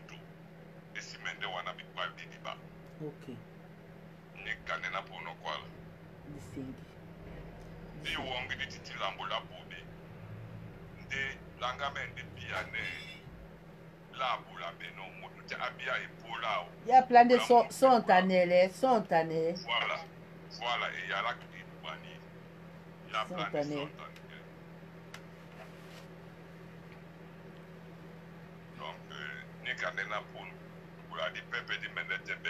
na mio na mende ti ma d'accord la disomo adi ta tete disomo eh. bo na tete na bo na yeye binyole so owa osenga e kuâdi ya ye eh, tete eh, mbonge ye kuâdi ye na ayino ah, otele biso na adi so ntane na kwade adi wongi la mutu nde ya bulele la wana mpungu onda bwa diba ye wana mpungu onda bwa diba na manda ninka mm, mm. na mutu amala te mm, owasa mm. diwongi owasa uh, moni ye nde onyola bongo ala mbia mwa awo odi tongo nde ombo eno le na na kiki otelemo na e titi forcément na mala nde bongo ami mbia mwa awo e eh, enapeta bongo mbiamwa o de mwa mumi nde abuse di na mwa mumi nde apandise no di na abu landini ka o leye mbiamwa o na mu ma o oh, abeni ah, bema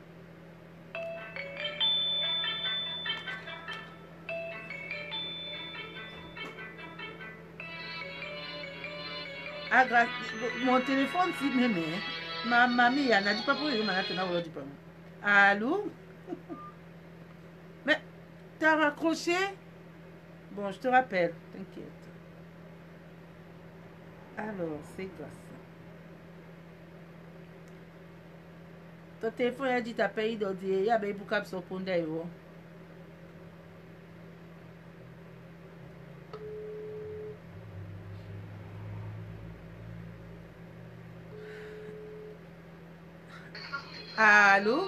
E?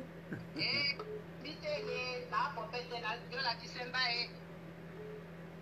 Euh, leo musinga na yeye grace eh. lanongo moto nye nune deuxième moto ombusa yeye grace son vas-y lesinga Eh. Eh. Onyana ekanya abula ndị abakise ndị jena biso ma ọ dị kilo Abam Sende. Abam Sende, voilà, Abam Sende. Donc il certifie encore, il confirme nos peurs. Il confirme ce que nous savons déjà. Nikana, Mumi, Bobobo, Wese, Wedena. Lumeneno, il n'est pas dit, n'a pas tapé ton congé. Nous, t'en as la paix pour lui. Mumi, Amate, Bafou. Ama, Pone, Nongo, Mokala, Ono. il a le père du Kana, l'homme quittera son père et sa mère et s'attachera à une femme et tous les deux ne feront qu'une seule chair. Donc, Amen Wani Kana, Anongi Temuto, Mutane de Tungulao, Ndeyi, de Mais il y a des Ba Bonde Onyolana, Ba Toba Malate est-ce que va projet commun?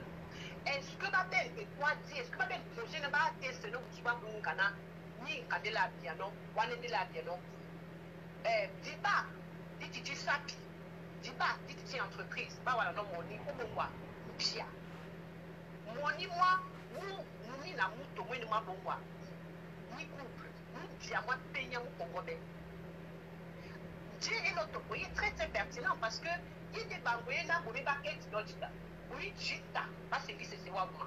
onywana mutana aladde osonga moni anuwanadde moni mbowa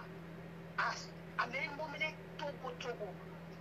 nde ye ndenyolana bomi babolone dito confiance bakedi bebe bakujita de napulandi baefe tetekalisi nyoti moko na mbanye ulomte na seri monene otema supo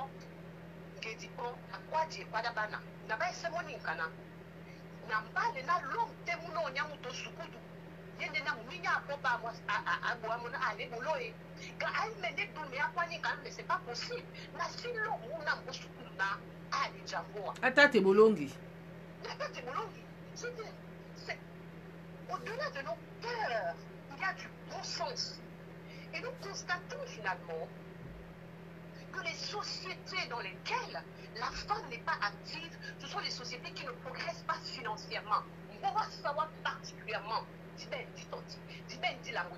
on est Mbete, ambition. Nous sommes peut-être ambitieux, mais c'est limité dans la poche de l'homme. Dites-moi, qu'est-ce que nous savons créer de nos mains et qu'est-ce que nous, nous sommes autorisés à faire, à construire dans notre communauté, pour que nous soyons une force économique. Nous avons été engloutis par beaucoup qui viennent ailleurs.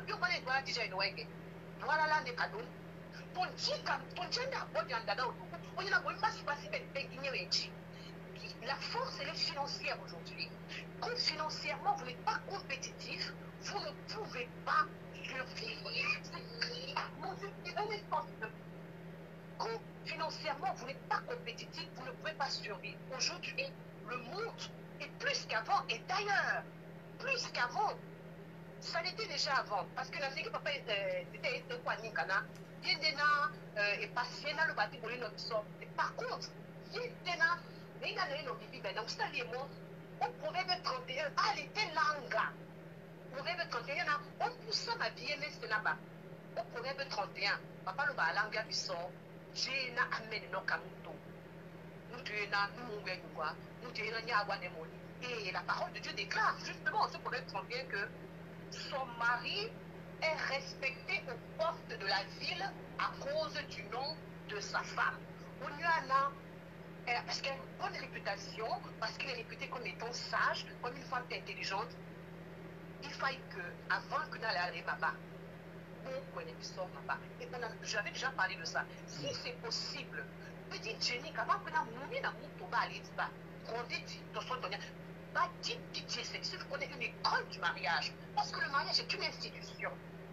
Les temps ont évolué, mais le mariage n'a pas évolué. Ça reste toujours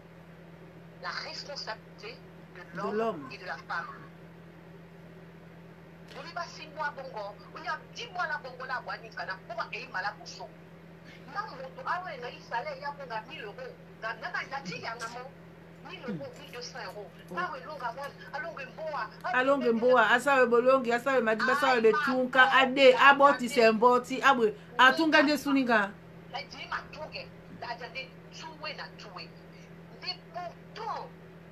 kana mapama suma ti baba be de dolo na dolo na ti kom na ti kom wase yapi na wase yapi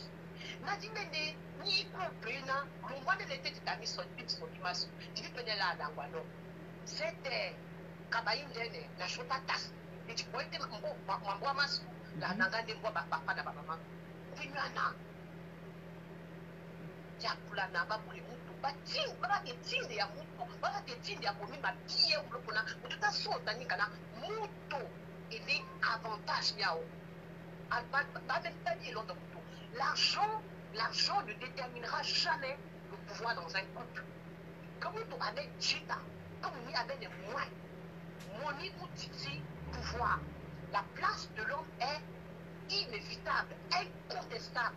Il n'est pas le maître de la maison, mais il est l'autorité parfaite. Mhm. C'est important. La somme. tika ye na kuna toko nde atini kana avant qu'on aille dans ces discussions mutu tabelisa momeni kana mona mbale na ye na mutu labema na bikutita me ndi lo mabosu kudu mingi kana bakoi te mabatiele bati te mpo waye esukunda mbuyale nde madiba Et elle était dit Dans ce cas, on revient dans les sociétés ancestrales où on instruisait pas les filles parce qu'on considérait que c'était une perte d'argent.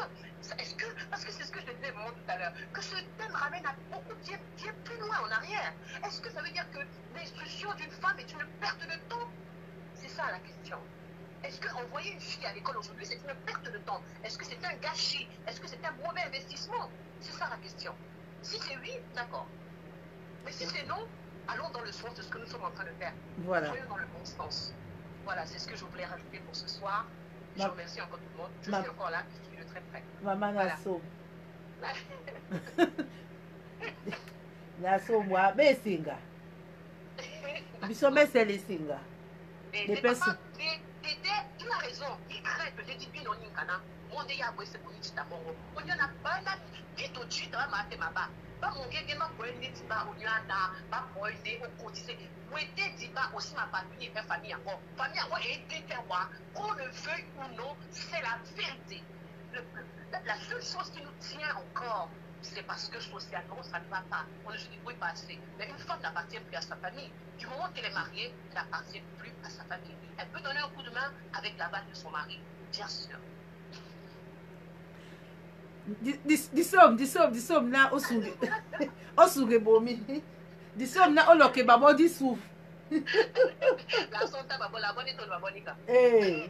babe mpe babinika babele bakeka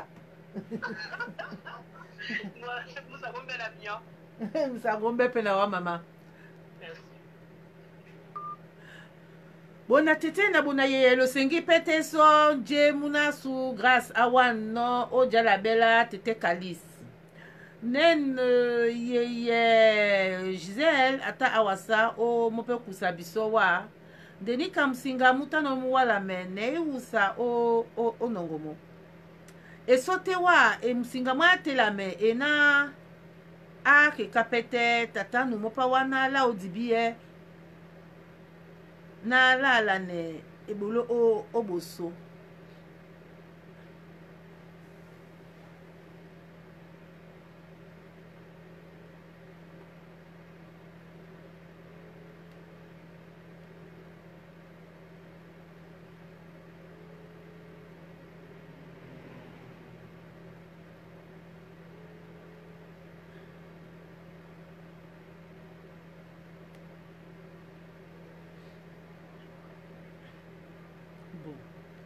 bona tete na bona yeye euh, oyo ni mponda nye na ni no diengele na moto nu pepe anonge ndi nonge mo omusinga na malaboso na mawongi ah.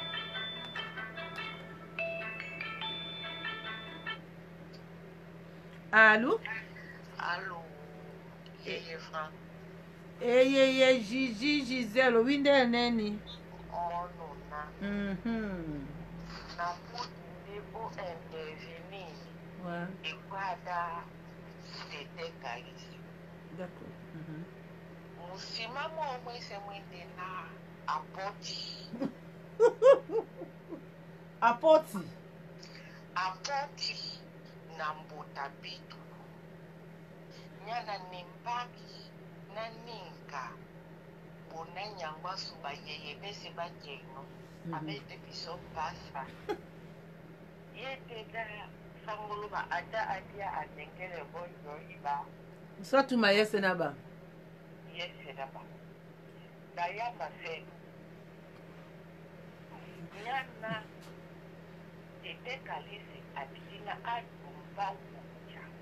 okwala ye amumokwala wa na the o nango oyo ebanda oto ewo detekaliste alonga oya okwala na moto asi ya bane ebolo ya wana lwamoni amokwa ndemo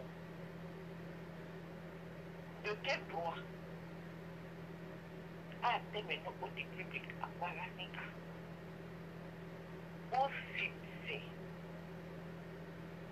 mbota mutu mbota bitu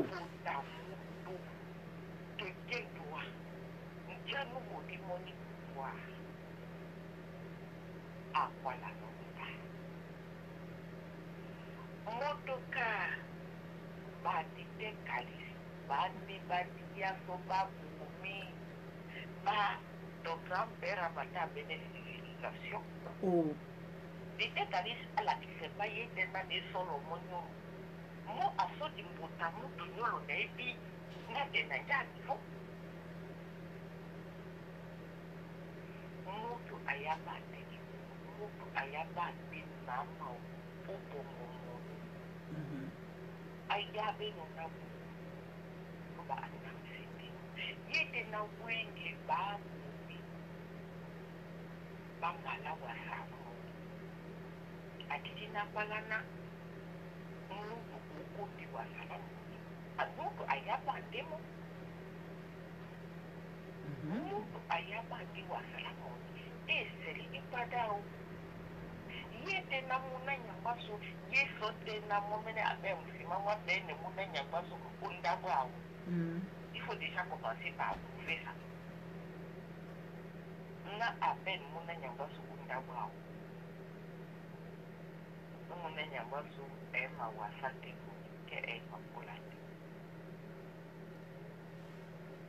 ke mu na yango aso nde emapule nga tete caliste nde emapule mo tete kalise nde emapule mhm. nyana nje tete kalise afontano atopino wa njimbia na fontana c'est un dictateur ala kise pas. mais c'est comme ça c'est de ça qu'il s'agit c'est de ça qu'il s'agit katika dini la Polino, katika dini la Polino. So Anangi had to teach Ushelfa directly there. Ase Bajayi Bali Nyakwa Tobiana hapo kwa napo. Mm. Sisa concern mutamu. Okay. Alangwa wana bisopito diaba eh, mungwala bana bongola mandabu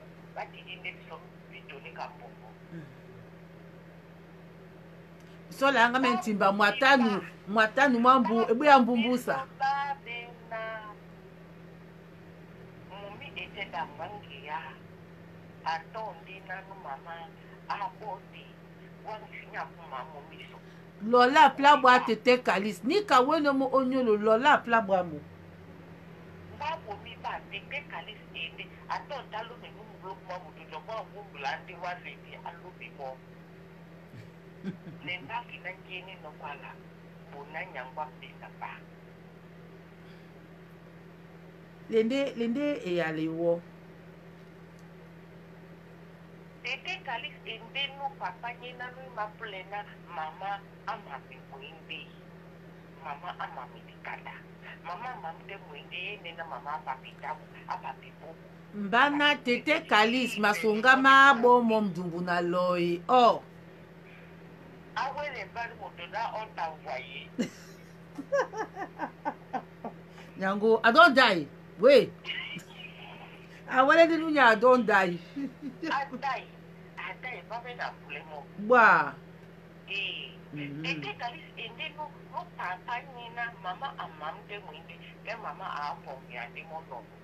abo abo abo aseye liloba wele mgodi wafi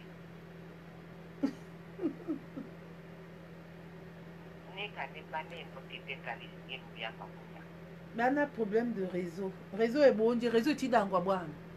réseau nyedangwa po tete tekalisa tampala bwa réseau tedangwa nidene motu atla na problème de réseau alors natui sontane bon yo mobi we eyebena momino kem ende ende mutu nde mbani singa wani mpe diene maloma tete calis na ma yeye grâce ombenina tete calis anengeno na bwangu fera so mona so atimi nde mboko atimi nde mboko okondame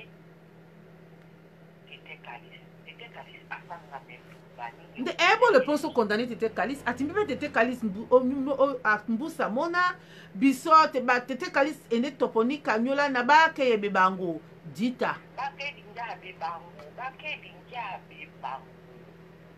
monde afandi wana mponda etano eh, eh, na nadidina napusa yakula autorisation ya mumi hey. Eh. mabaki kamabo lopedi boy dedipoda pour chaque sortie et eh, il faut l'autorisation de l'époux atetekali siloko opedi boy ndeniponda mama bama boy niponda keyendinyana ponda mama akusino autorisation wa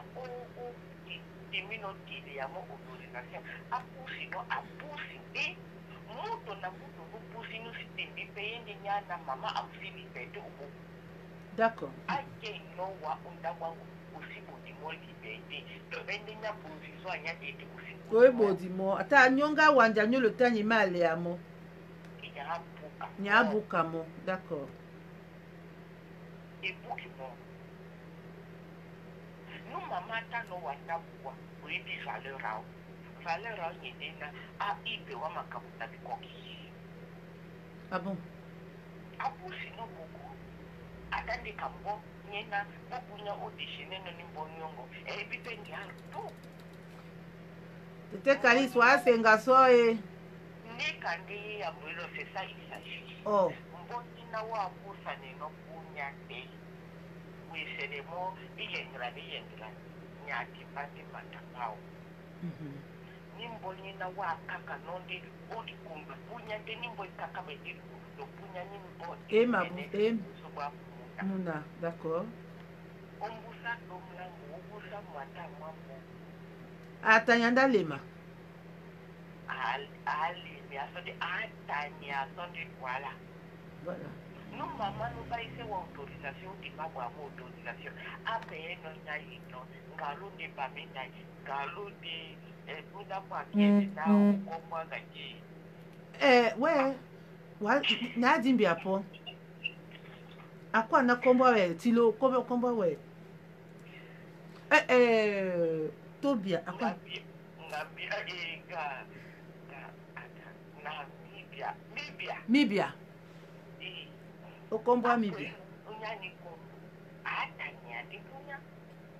ofika ngubamama nokunyabola emungeya mhm. matete kalisoba ekwalana eh, eh, mabubi bakedi bebango eh, mo munaso ekwalana bakedi bebango nyana baboledi oh. nde nabakedi baboledi nde nabakeye mibango d'accord baboledi nde nabakeye mibango okay nyana sito mudu mwana mwende akamesi te mutu asime nde beso tobesonela mutu awana nde milio wamumi okiti wana tolamu mutu amenge piketi otakise wakunyabo munjango asimatakise walongeleseka neni mumi atakise no mutu olongelese mumi apende natakise akomi bino esele bino kola biso libete abomi osengi ye apalinona mutu alute bulu abotya nde buli ya sango abotya nde buli ya nyango abotya nde buli ya magomo wasenga nde ye mada tetekahisa atengene etengene toso tetekahisa pusele nde sesenye mo mlema nde asese ye bango akedi no na sesa ya di oisengi bango na no ebuki na sesa ya di ee amama ee akedi te bango wo na akemo bango betano tata o o e na sista nya ata asenke mo ibango wo mhm. eske anongili kaliso ee ปืนหนองอีเบี้ยนั่นหนองแค่ตัวกว่านี่กะสาวที่ปืนหนองอีเบี้ย anongi nde anongi di bie nde anongi nde nje bela be na résolution ni nye nye na mutu e boye bolu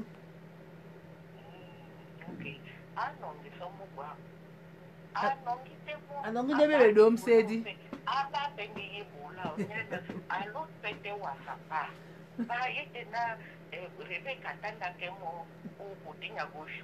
wakeni eh, modwa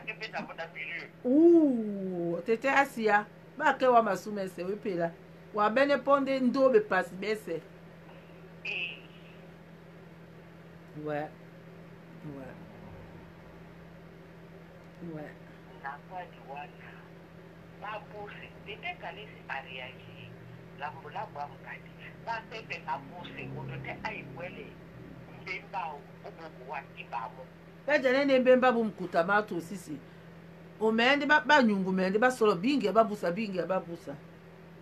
diso mtete kalis e diso mo nana wele mbemba obugu leto ndiamo mloku lima bwamo labwamone disiya imona dibwemo esele mama mbi Bah, c'est vrai c'est vrai c'est vrai c'est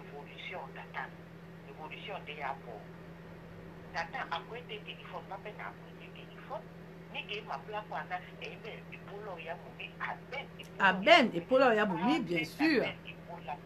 bien sûr bien sûr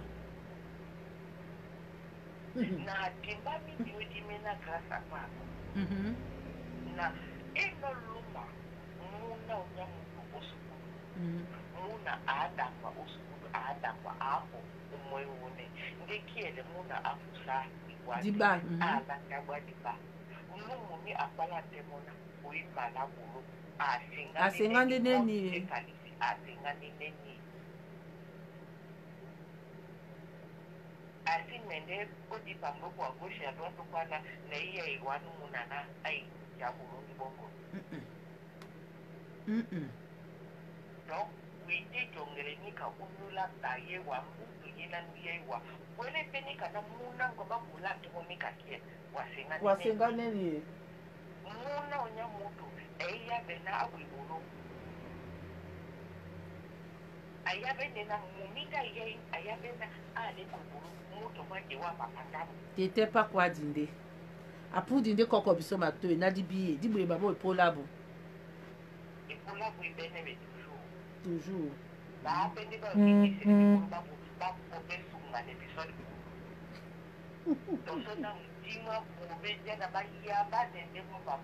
Oh. c'était asia Et eh, ni c'est de ça qu'il s'agit oui mm.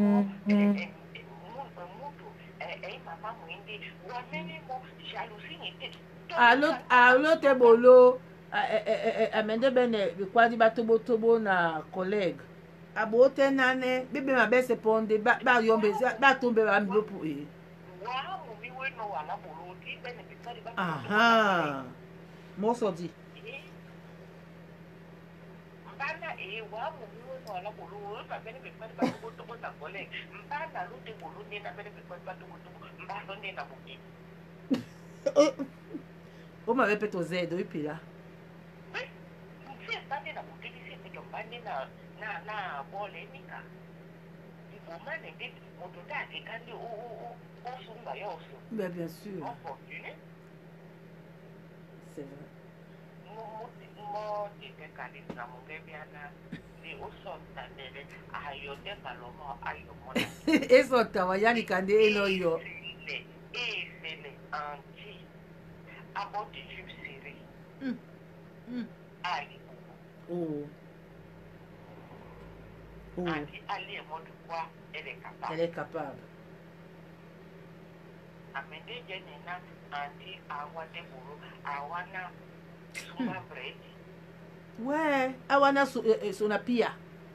Awana suna pia. Hmm. Alipiti momoa. Awani apemo suna oyeposa bie. Ramona suna ruhi. Wè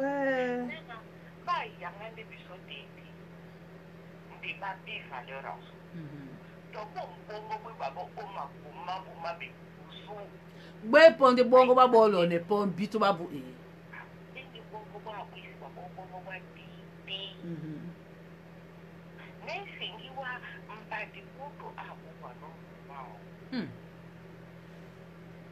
de bon goba bon lò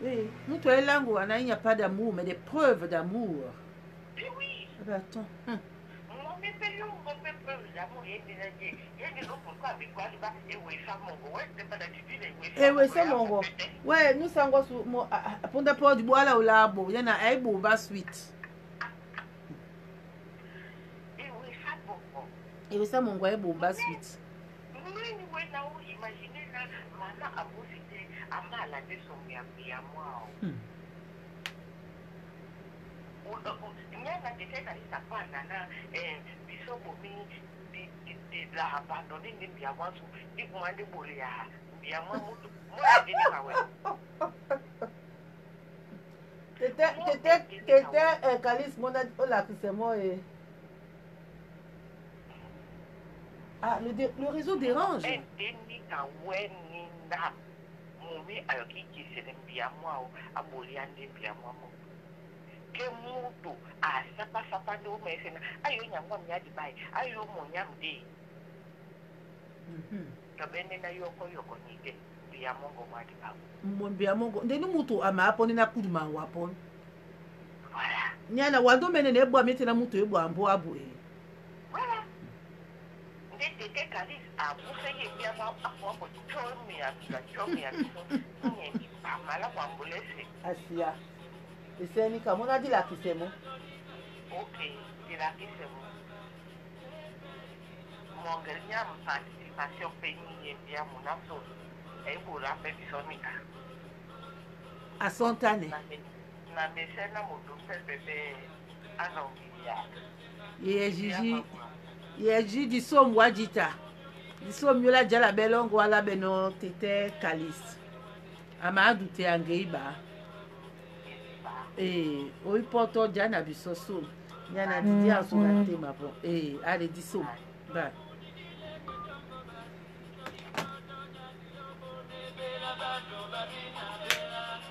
ìlànà sábẹ́. أيوه قوية وبنا بلا أجد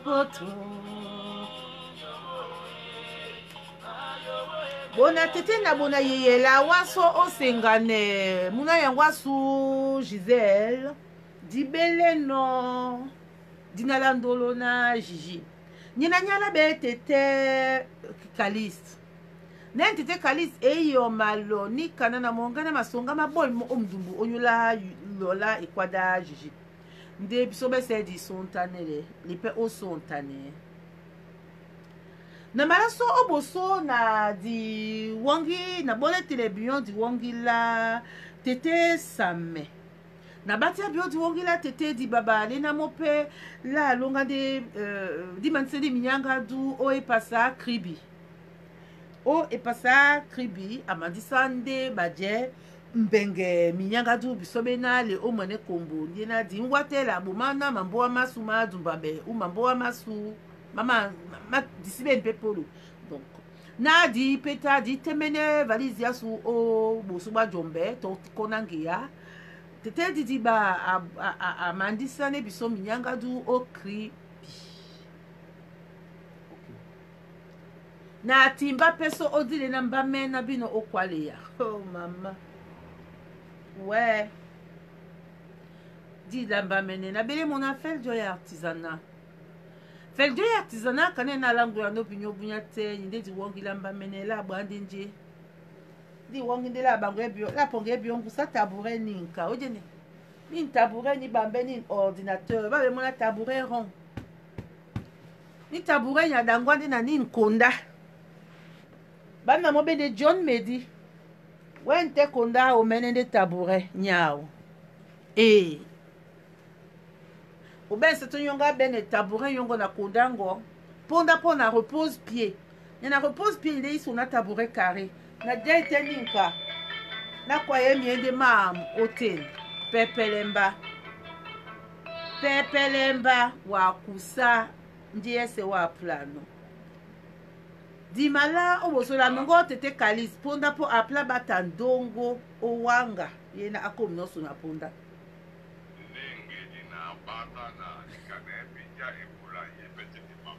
wabata nde nje na njike bola na mpe nde amoyenginya monde nino wasanikana sikene mo mbongolo mbongolo ah, nye babadi E, eh, moun di babye nou ba pou mwami so, oh. nye mbaba di, okwakite oh, okwakite, nyala ba mdou. Wala. E. Eh. Na batwa, na batwa son. Mm-hmm. Na plana, di pye nin ka na, nje, fren si babye nou na edikasyon, ni ka esi ma plan kwa na, e bolo, to trafay. Wala, le sukou do, pou mba, di titi pou kate, pou nyola bwala, e bolo, minka bi dɔ bɛ seli jɛ nɔ dɔ bɛ seli nɔ kɔ la pepe kɔ do ale de bi to bi na ba lo ko do nya ne ka ne ba da no bɔ a ko bi we ni sa nɔ ba de na la sɔn ta ne ma la sɔn ta ne nɔ ma e we ni sa na mɔto ina no ti ta bɔ sugu ba to mi a na jo ko a titi bu tɛ nya na ja bila bi bolo de jo ko ale ni sɔn ta ne bi a ne wa kɔ alisa ne nɔ mu. bia ne wa adangwane no wa mene bia ne wa mene wenu bia nkyia wenu mutunuita osukudu abemba nipoena nya adopo no bambo nyena etiti ka mutunuita sukudu ka mutuena nyoku donc point en poni mhm. lambolo se mbale de ninkana obiena emombo ediba na sibeji babukate kumbana suye Cameroun na gyae o kontina presque yɛsɛ ya munda awase na kwa apɛtɛ na gyae presque o kontina yɛsɛ ya munuma awase na bi culture yɛna iwe gisa na gye ba abɛlɛ no na ma ba ma ba mɛ sima titi gye po ma ba te ma bɛ nya na gye ne ma ma walo tɛ o kina ba nyaabu mbali nyanjenela mambu bumaba mabu walote india india babe nyaabu pati nyanjenela mambu walote uafrika dibe nyasu mbali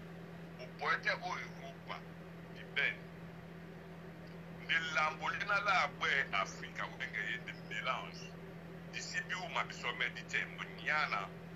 diibinga dia bia di maba umbana sunya bisu ba afrika to bana ba cameroun to bana ba sawa nga gya abiade mabama bakala nga gya abiade mabama nga na ɛde wɛ ma wo na abla na abafiti ba bie di ibɛ culture di lambo la sawa bɛɛbo mɔdi la france bakoande na sawa community lepɛ de base nya culture nya se sawa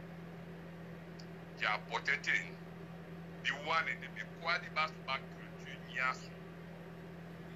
bambambambane bulata culture nyasu na culture ɲa bakala ni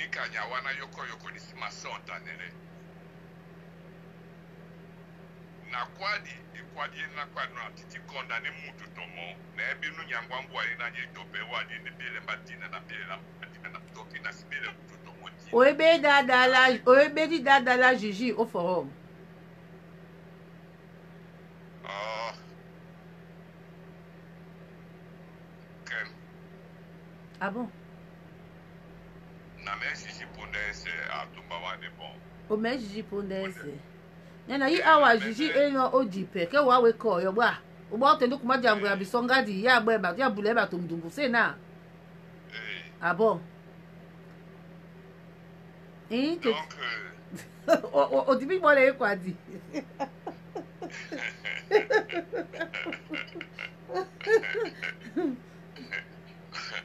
la praya la di sot da de da ma pie ma su ma ti di nya ipo so bese di porto e kwada su ja kwala temo but bo pasi mene son mo umba na ja kwala no mra yembe ba ma son ta ba mu ba su ba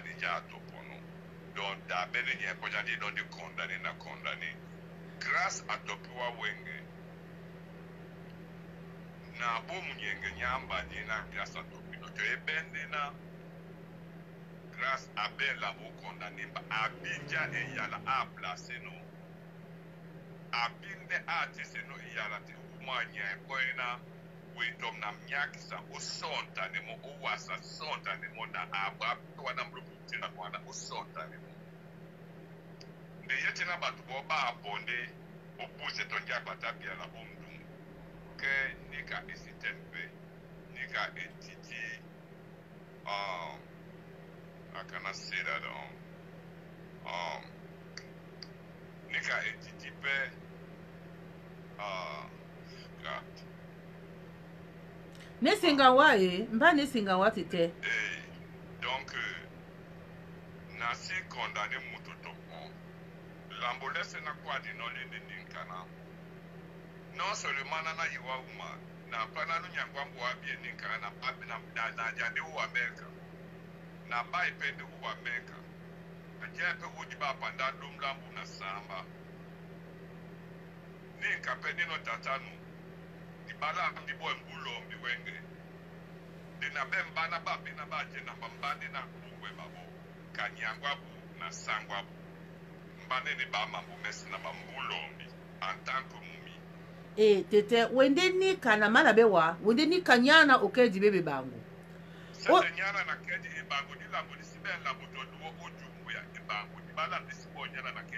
kɛm eh, ni kani eh, ni pila kɔla na e na ɲana ni de wala o musulama yeye jiji ɲana na o kwale na muto a ete bolo ete aben ete bolo mɔni mwa o musawedi mwa o mumalande o dibongola mbiya mwa o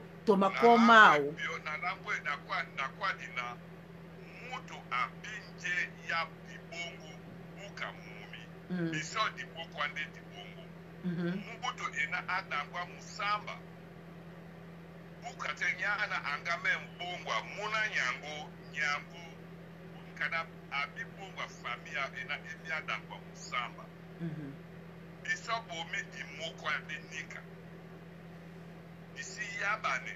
ninyapata diyalabula lalamu mm -hmm. entre mumi na mutu loba abodi mutu te nyawo dɔn loba abodi mutu te lawo mbali nya anga ndi anga mɛ nɔgɔ ko la. lalo sɔɔ tɛ o o o o o o o o yɛlɛ wɔ mutu abɛ mbɔ amina ali o bolo tɔ kɛm. na mebangi na elambo bajelambo wana na kutu abe mba wala bolo ne buka te nyana ya pola na abiene kana to ene bolo to abe ne bovi buka mumi abo mumi epola ya mumi sani kanena kwano dako na sibangi mbana jadi bali na mutu atano ne bolo umese naba buti aponde na wano mo ameka abo bolo muma umese naba mebangi mbulu kunyato bo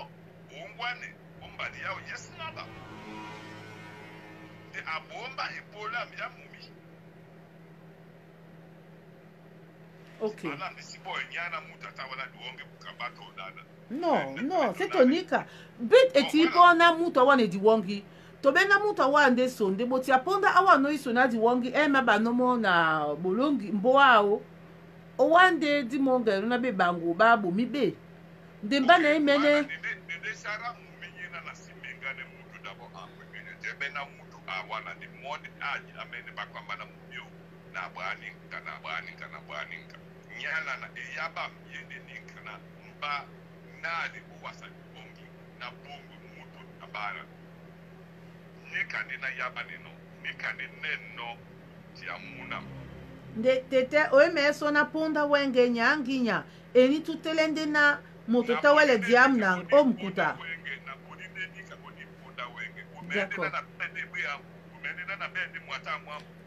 kembwini obeso ombende obende obende nya ni logique nya baye baye biso bwini obe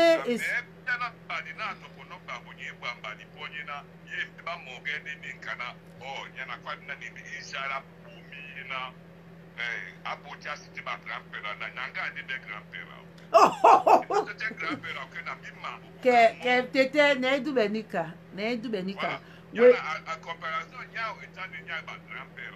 grand-père. Ok. Tete, eh, lende o, o débat. o, o ekwadie eh, na moto ah, te abe mbwa o wana dibie la o.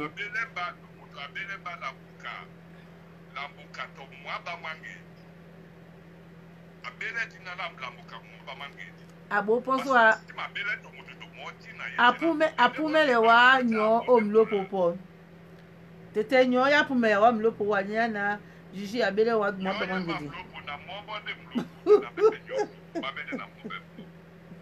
we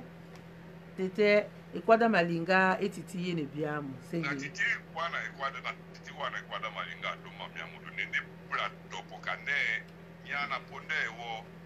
dibeni nkana eyala suya sawa ya kwani kana mbenja bube nyalo sambwala bapai lo gyaa tɛ bɔɔlo bɛna mutu ne bi do ane pae ne bi bolo ane pae wo bɔɔlo gba ne gba lɔ nya na ase gya wo bɔɔlo yi benji nya boa wo bɔɔlo bo ma do agyi gya nya na ase bi pae donc ne wɔ langa lango ya mu langa lɛ mu na be ba gya ne onya ne ne pasa benji to ba kwe pe ne pae ne nka mo ma bo ma ma no boa okay disingi na ti bangi bo lungeto di wo na plana asontane na na baenduku mbenge na bende culture mbenge nende muna mbenge yana na aja nyamu na na nkana mimbu we donc dibala tisinabe dibala mbugwa pe badi na meno mambo timbala mbuwa ndi na tonde na na alangwa mambo yana di lambo lende tiso lambo dibale lakwa la te o nye di lambo lakwa la di beman badipan e nasi lakwa la beman de mwode nye ane ka dena manop ebe e di lambo lena de mwode ebe ebe ndwen gen lakwa kato mi mwya ba mebe lukwe lambo lo jingalo ba anan lakwa ebe e si mawe gisan nye ane ka penye kultye e mawe gisan no de lambo lakwa e bizoye de nye anap dison sepɔsɔ bi sɔ sawa ibɛ problem yɛ la de wege san tuntun yɛ so yɛ priba kala ke miinu. ee dikɔ ana ba kala ba tɛm de bɔ a so bisɔnde di poma ne nɔngɛ o jɛn bila nɛ. de titina lɛ bila nɛ lele ma ye yanni ka ne kii na ba bu kii na ba do bɛ sina ba wɛgɛ na ba sɛ bila yanni ka ne bɛ kɔmɔ bɛ se bɛ bu kii na afirika yanni. bekombo besembelani ebisandele ondimi na discipline humanitaire non afrika ebe problème etraumatise nyana esidi baamene baamene afrika etibene basi afrika esibene tolambo dibembelane bataa pepe monamo dilambo pondela abeki wongo pete yo ti na na pulango ambable ye peut ti na lo membi ambale longo pete ku cameroun sawane ye wale mpusa mpuka communauté Yasséna Bamia, des Djébila, des plus bacana africains que camerounais. Sasa wanyali kanyele John, jina jana wengi wenge, jina jana yene wengi wenge nyala ejele na kutona nitiminde ombusa, nyana di bimbila mbata pepe. Chaplana ibale ibusise nyana da kumanemo, ibeda tuyina, otembengi jatimani bakala bomboa ngomene muna mbowa jedede kwa duwala wenge nyanje yana duwala tulabo muna yabende o duwala ayebe topo duwala nyanje yana jede topo mofrisi tobebe mamona ngobe na e sibangi ekwada ya wenge na atibate na sibange na mutu na mutu te nyoko tonu soko akusita ye bolo ojongwa ne mumi ni ka ye ni elambo la kuam nde nje na ba ti no te ye nde ni nkana tonje tonje awana no abole mumi epola o ya mumi nde na nongo elangisa na kuâ na oponda ni tomi bombowa mbi to bata mbe na baabusa te baabase ne mumi bamotorisation ndeke bonye mpo na mabanga e tama e pona titan de boti apona autorisation nan babon ni otorizasyon binou di tabakou pou sa ni okay. olo obito yeye asikwa dina na simsem bitu nate na nana tope lam nana kwale ni nyapata ekwadi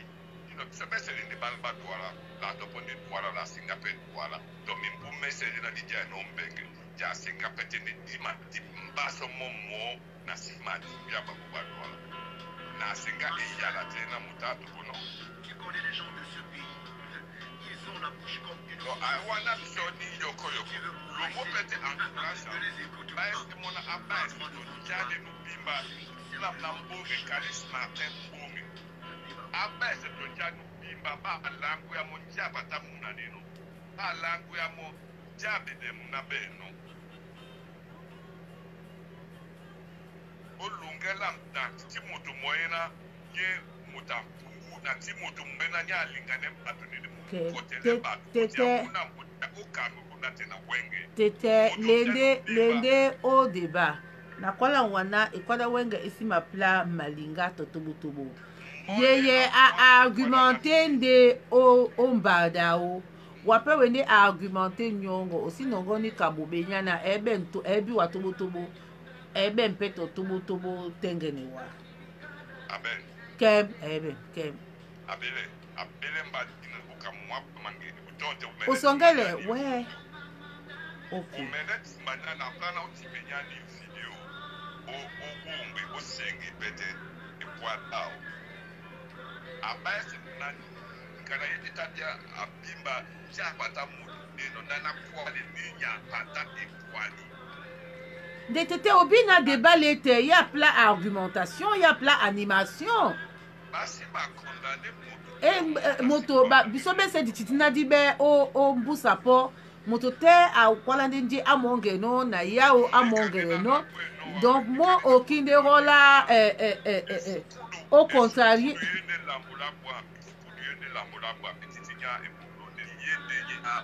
communication bi ala kwanza ne bato bi ala kana présente ko amene ko ma ye na bato beno bi akwali etiti bukate ebolo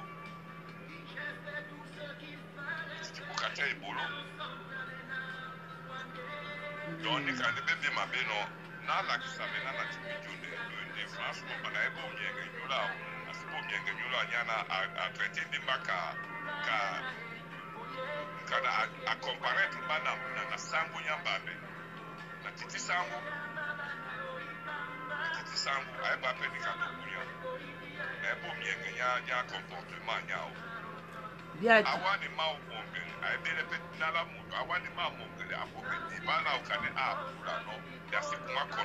na bomo ilamisa na basengi grasa. Na sengi grasa. Na sonta na kumugula. Milema na milema na milema nyamba diena atele no mapapagila atopo no. Nikanya na kusonta eh? amo asodi naye mpe wawejangwa eh, eh, lo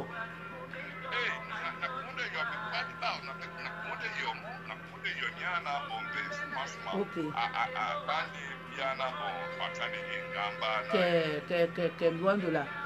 na so ntango wati te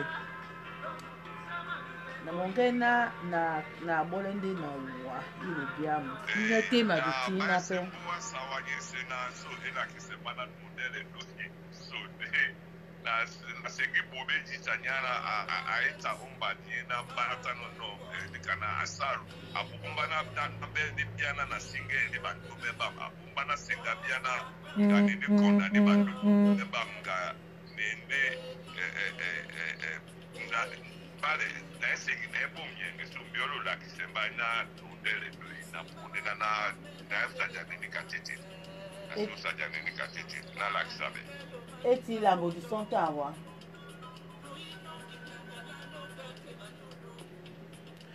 bo na tete na bo na yeye le pe so asenga ne tete kalis nye na nu poi odia labe yeye jiji nde na mo ngai na si so ntane nde ti tombi wani ana lende okua di ye na langa mene no ba moto te abeni no na awani jongele la o epuis ya plana na e kua di e nyinge di di di loke loko loke so na loko nde na monge na ni kanye se nya pongla ne tete apusere nde dibadi apusi no dibadi asegi no o nya na di nongi e kua da o uye ye zizi anongi e kua da o akua di no na Euh, bito ba gbongwa famille yabo ndenge nde deba la plana di bi ebebe mabe si na ba euh, la abene so nge ndibua ndi timbi jinda onya di ntoti ndi bo mo ponda buka mm, ndi tala mm. nga me obola mo ponda lindi yeye ani mbani ndi direct direct d'ici boy à la facebook direct d'ici boy tina di interrompre direct beleni nomba ni épinglé ye tene aobene eyala toti di tata na beleni adi ba pete soni e tande be bote di bambu asu sawa kaka la be basi basu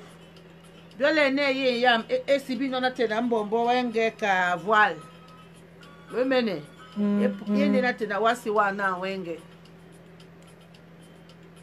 Euh, nanali epe binyonso na pata na mbwa sunyambo ti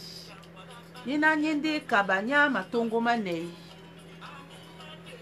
monina kabanya matongo manei monde babeno kaba matongo manei na kaka wangi dime nde bolani kabunya bopepe nya na mponda emala ye apena biso besela aliumse ki ele ye nde mondi zimende mpe ojomboya bembe bote ti bawenge be na bomi babodi no biso wonja na ti kume oboto obange na mu ndi longele atela me la eh, eh, be mabese mpe baatela me donc ndini boto kaba ye na i tela me makata i tela me makata nde se to be bote ti bambo asu be be be mabese be nde tela me la miso makata ma asu ma, ma e tanyia elanga meno ole mo obuku toyiwangisi indene la kakano wenge ina ini wangisi ya yoruba ase tokakala wangisi la mbwasu di kakala wangisi la mbwasu lende oje sele eh, eh, mapomo mabe oninka okaka wangisa ngona te na mbombo na bodi eh, elangisani ya wangisi nde dime nde ndongo mponda miama aye bunya bo pepe oba ye kuada bibo te di bambo asu na longala wangisi ya wangisi asuwenge si tobembe koto bato banigéria bampongo yano biso labo tono bempesa ndesi tonika nde me basi basuba kaka beno me nde so bene eponda okwale ya bebima bese ombusa ye na ekwade asu ya ye mbiamu nde na atimisele no binyo bese mbe na alonongi longofu oyo ene kuâ nda yene biamu eyeka eyeka yeka masoma na so mbinyo di kuâ di dinyengise ekuâ da so binyo bese loliemba wenge titi mbe ya nyu na dindi o dindi papa la so na so lisengi bebele di bam na so e abito tema etande nyaso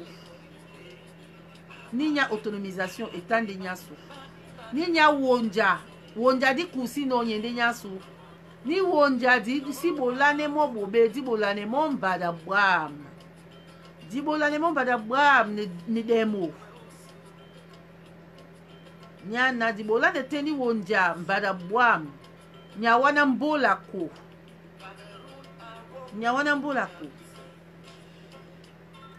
onye ọya nika sọ na nanga mbinyo bese nasomela bino ebyamwa bwami nyambe momene ata tedi lipapa laso abone pete biso ngudi na mm, mia mm. onyingise mo kana ele anyingise no mo ni nka moto te apo akuala nje amongele no ni kande nye ndolo ni kande nye kodi koda mbu asu di beno e la akuala nde bekodi ba mbu asu ni kanye biso mwenya na somɛ so binyo bɛ sɛ ebia e mua ebia mua bua ha o mu musiki mua eboa lɔtin tete eboa lɔtin lɛnɔ osenga mɔ na toma nkono ato mbili yenga. belebele muna tombi bienga e eh. otombi mienga ye